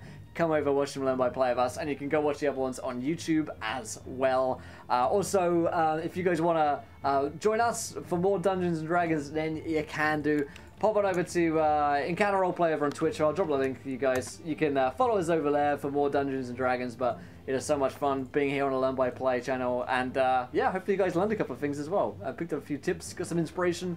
I had a lot of fun. Let's get around the cast and crew. Did we enjoy ourselves? Uh, Tallsquall, what do you think about tonight's show, my friend? I had a great time as always. Miguel is a lot of fun to play. Um, I, I again wonderful NPCs, and I just I Mutt. What can you say? Mutt's just the man. It's like I, I, I'm totally thinking that you know if we can have like Mutt and Mutt and Sarge Tasker be you know at, at HQ, Yeah. you know I'm like all for it. I ship I ship uh, Rufus and Mutt so hard though. That's what I said. Yeah. yeah. they're like they're like kindred spirits. I loved it. Totally. It was amazing. It was amazing. But anyway, you guys, uh, if you uh, want to find me elsewhere around social media, you can find me on uh, Twitter's the easiest way to go uh, at Tallsquall. Uh, just type it in, and my top link that is pinned there has links to all the other things I do, including running a campaign for charity at two o'clock on Saturday, and uh, the fun and excitement that is Turncloaks uh, podcast that happens on Mondays and Tuesdays. It is an interesting time over there. So uh, thanks for tuning in. Uh, if you uh, find me somewhere else, let me know that you found me on uh, Learn by Play. Great stuff. Sydney. Uh, yes, I- I'm excited for the party. I'm excited for the drugs. Um, a lot of things are happening. It's very fun, very reminiscent of freshman year. so uh, yeah, I'm Sydney. Uh, you can find me on Twitter uh, there at Sydniac, and I'm the dungeon master for Wonder Quest, which is a Dungeons and Dragons podcast. If you just can't get enough, you can go listen to that, and I'll link it in the chat as well. So come hang out with me there. Great stuff. Greg. Oh, I had a blast. Love playing with these people. Love your story, Will. Love being on D and D, playing with Wizards of the Coast. See you guys back here next Saturday at six to nine Eastern. Playing a little bit more Zephyr. If you want to follow me, Grimjack21502 on Twitch and Twitter. Like uh, Tall said, if you saw me on Learn, let me know there, and we'll chat about whatever you'd like. Until next time, though. Great stuff. And Chelsea. As usual, it is a humbling experience to play with a lot of these incredible uh this cast and uh, just to be here and do this. So I always have a good time. Um, it's it's not hard for me to have a good time. um, so yeah, uh, if you want to check me out or you like what I'm throwing down, you can catch me on all the social medias at little underscore red underscore dot. Uh, you can check out my Twitter and see all the many things that I do when it comes to Dungeons and Dragons, including being over on ERP's channel um, and a podcast as well called North by Northwest. So if uh, you know, come check me out. Let, let me know what you think, and uh, I'm sure I'll be on that social media to to chat it up. Great stuff, great stuff. Well, thank you guys so much for joining us. Uh, it has been a great time, as always. And uh, until next time, my friends, try not to throw too many nat ones, because we want to be here laughing when you do. Uh. I was muted on Zoom, so they didn't hear me say my outro. Yeah, we're like, Where did it go? and fade out. We'll cut. We'll edit this in post. Good night, everybody. Bye. Bye. Oh.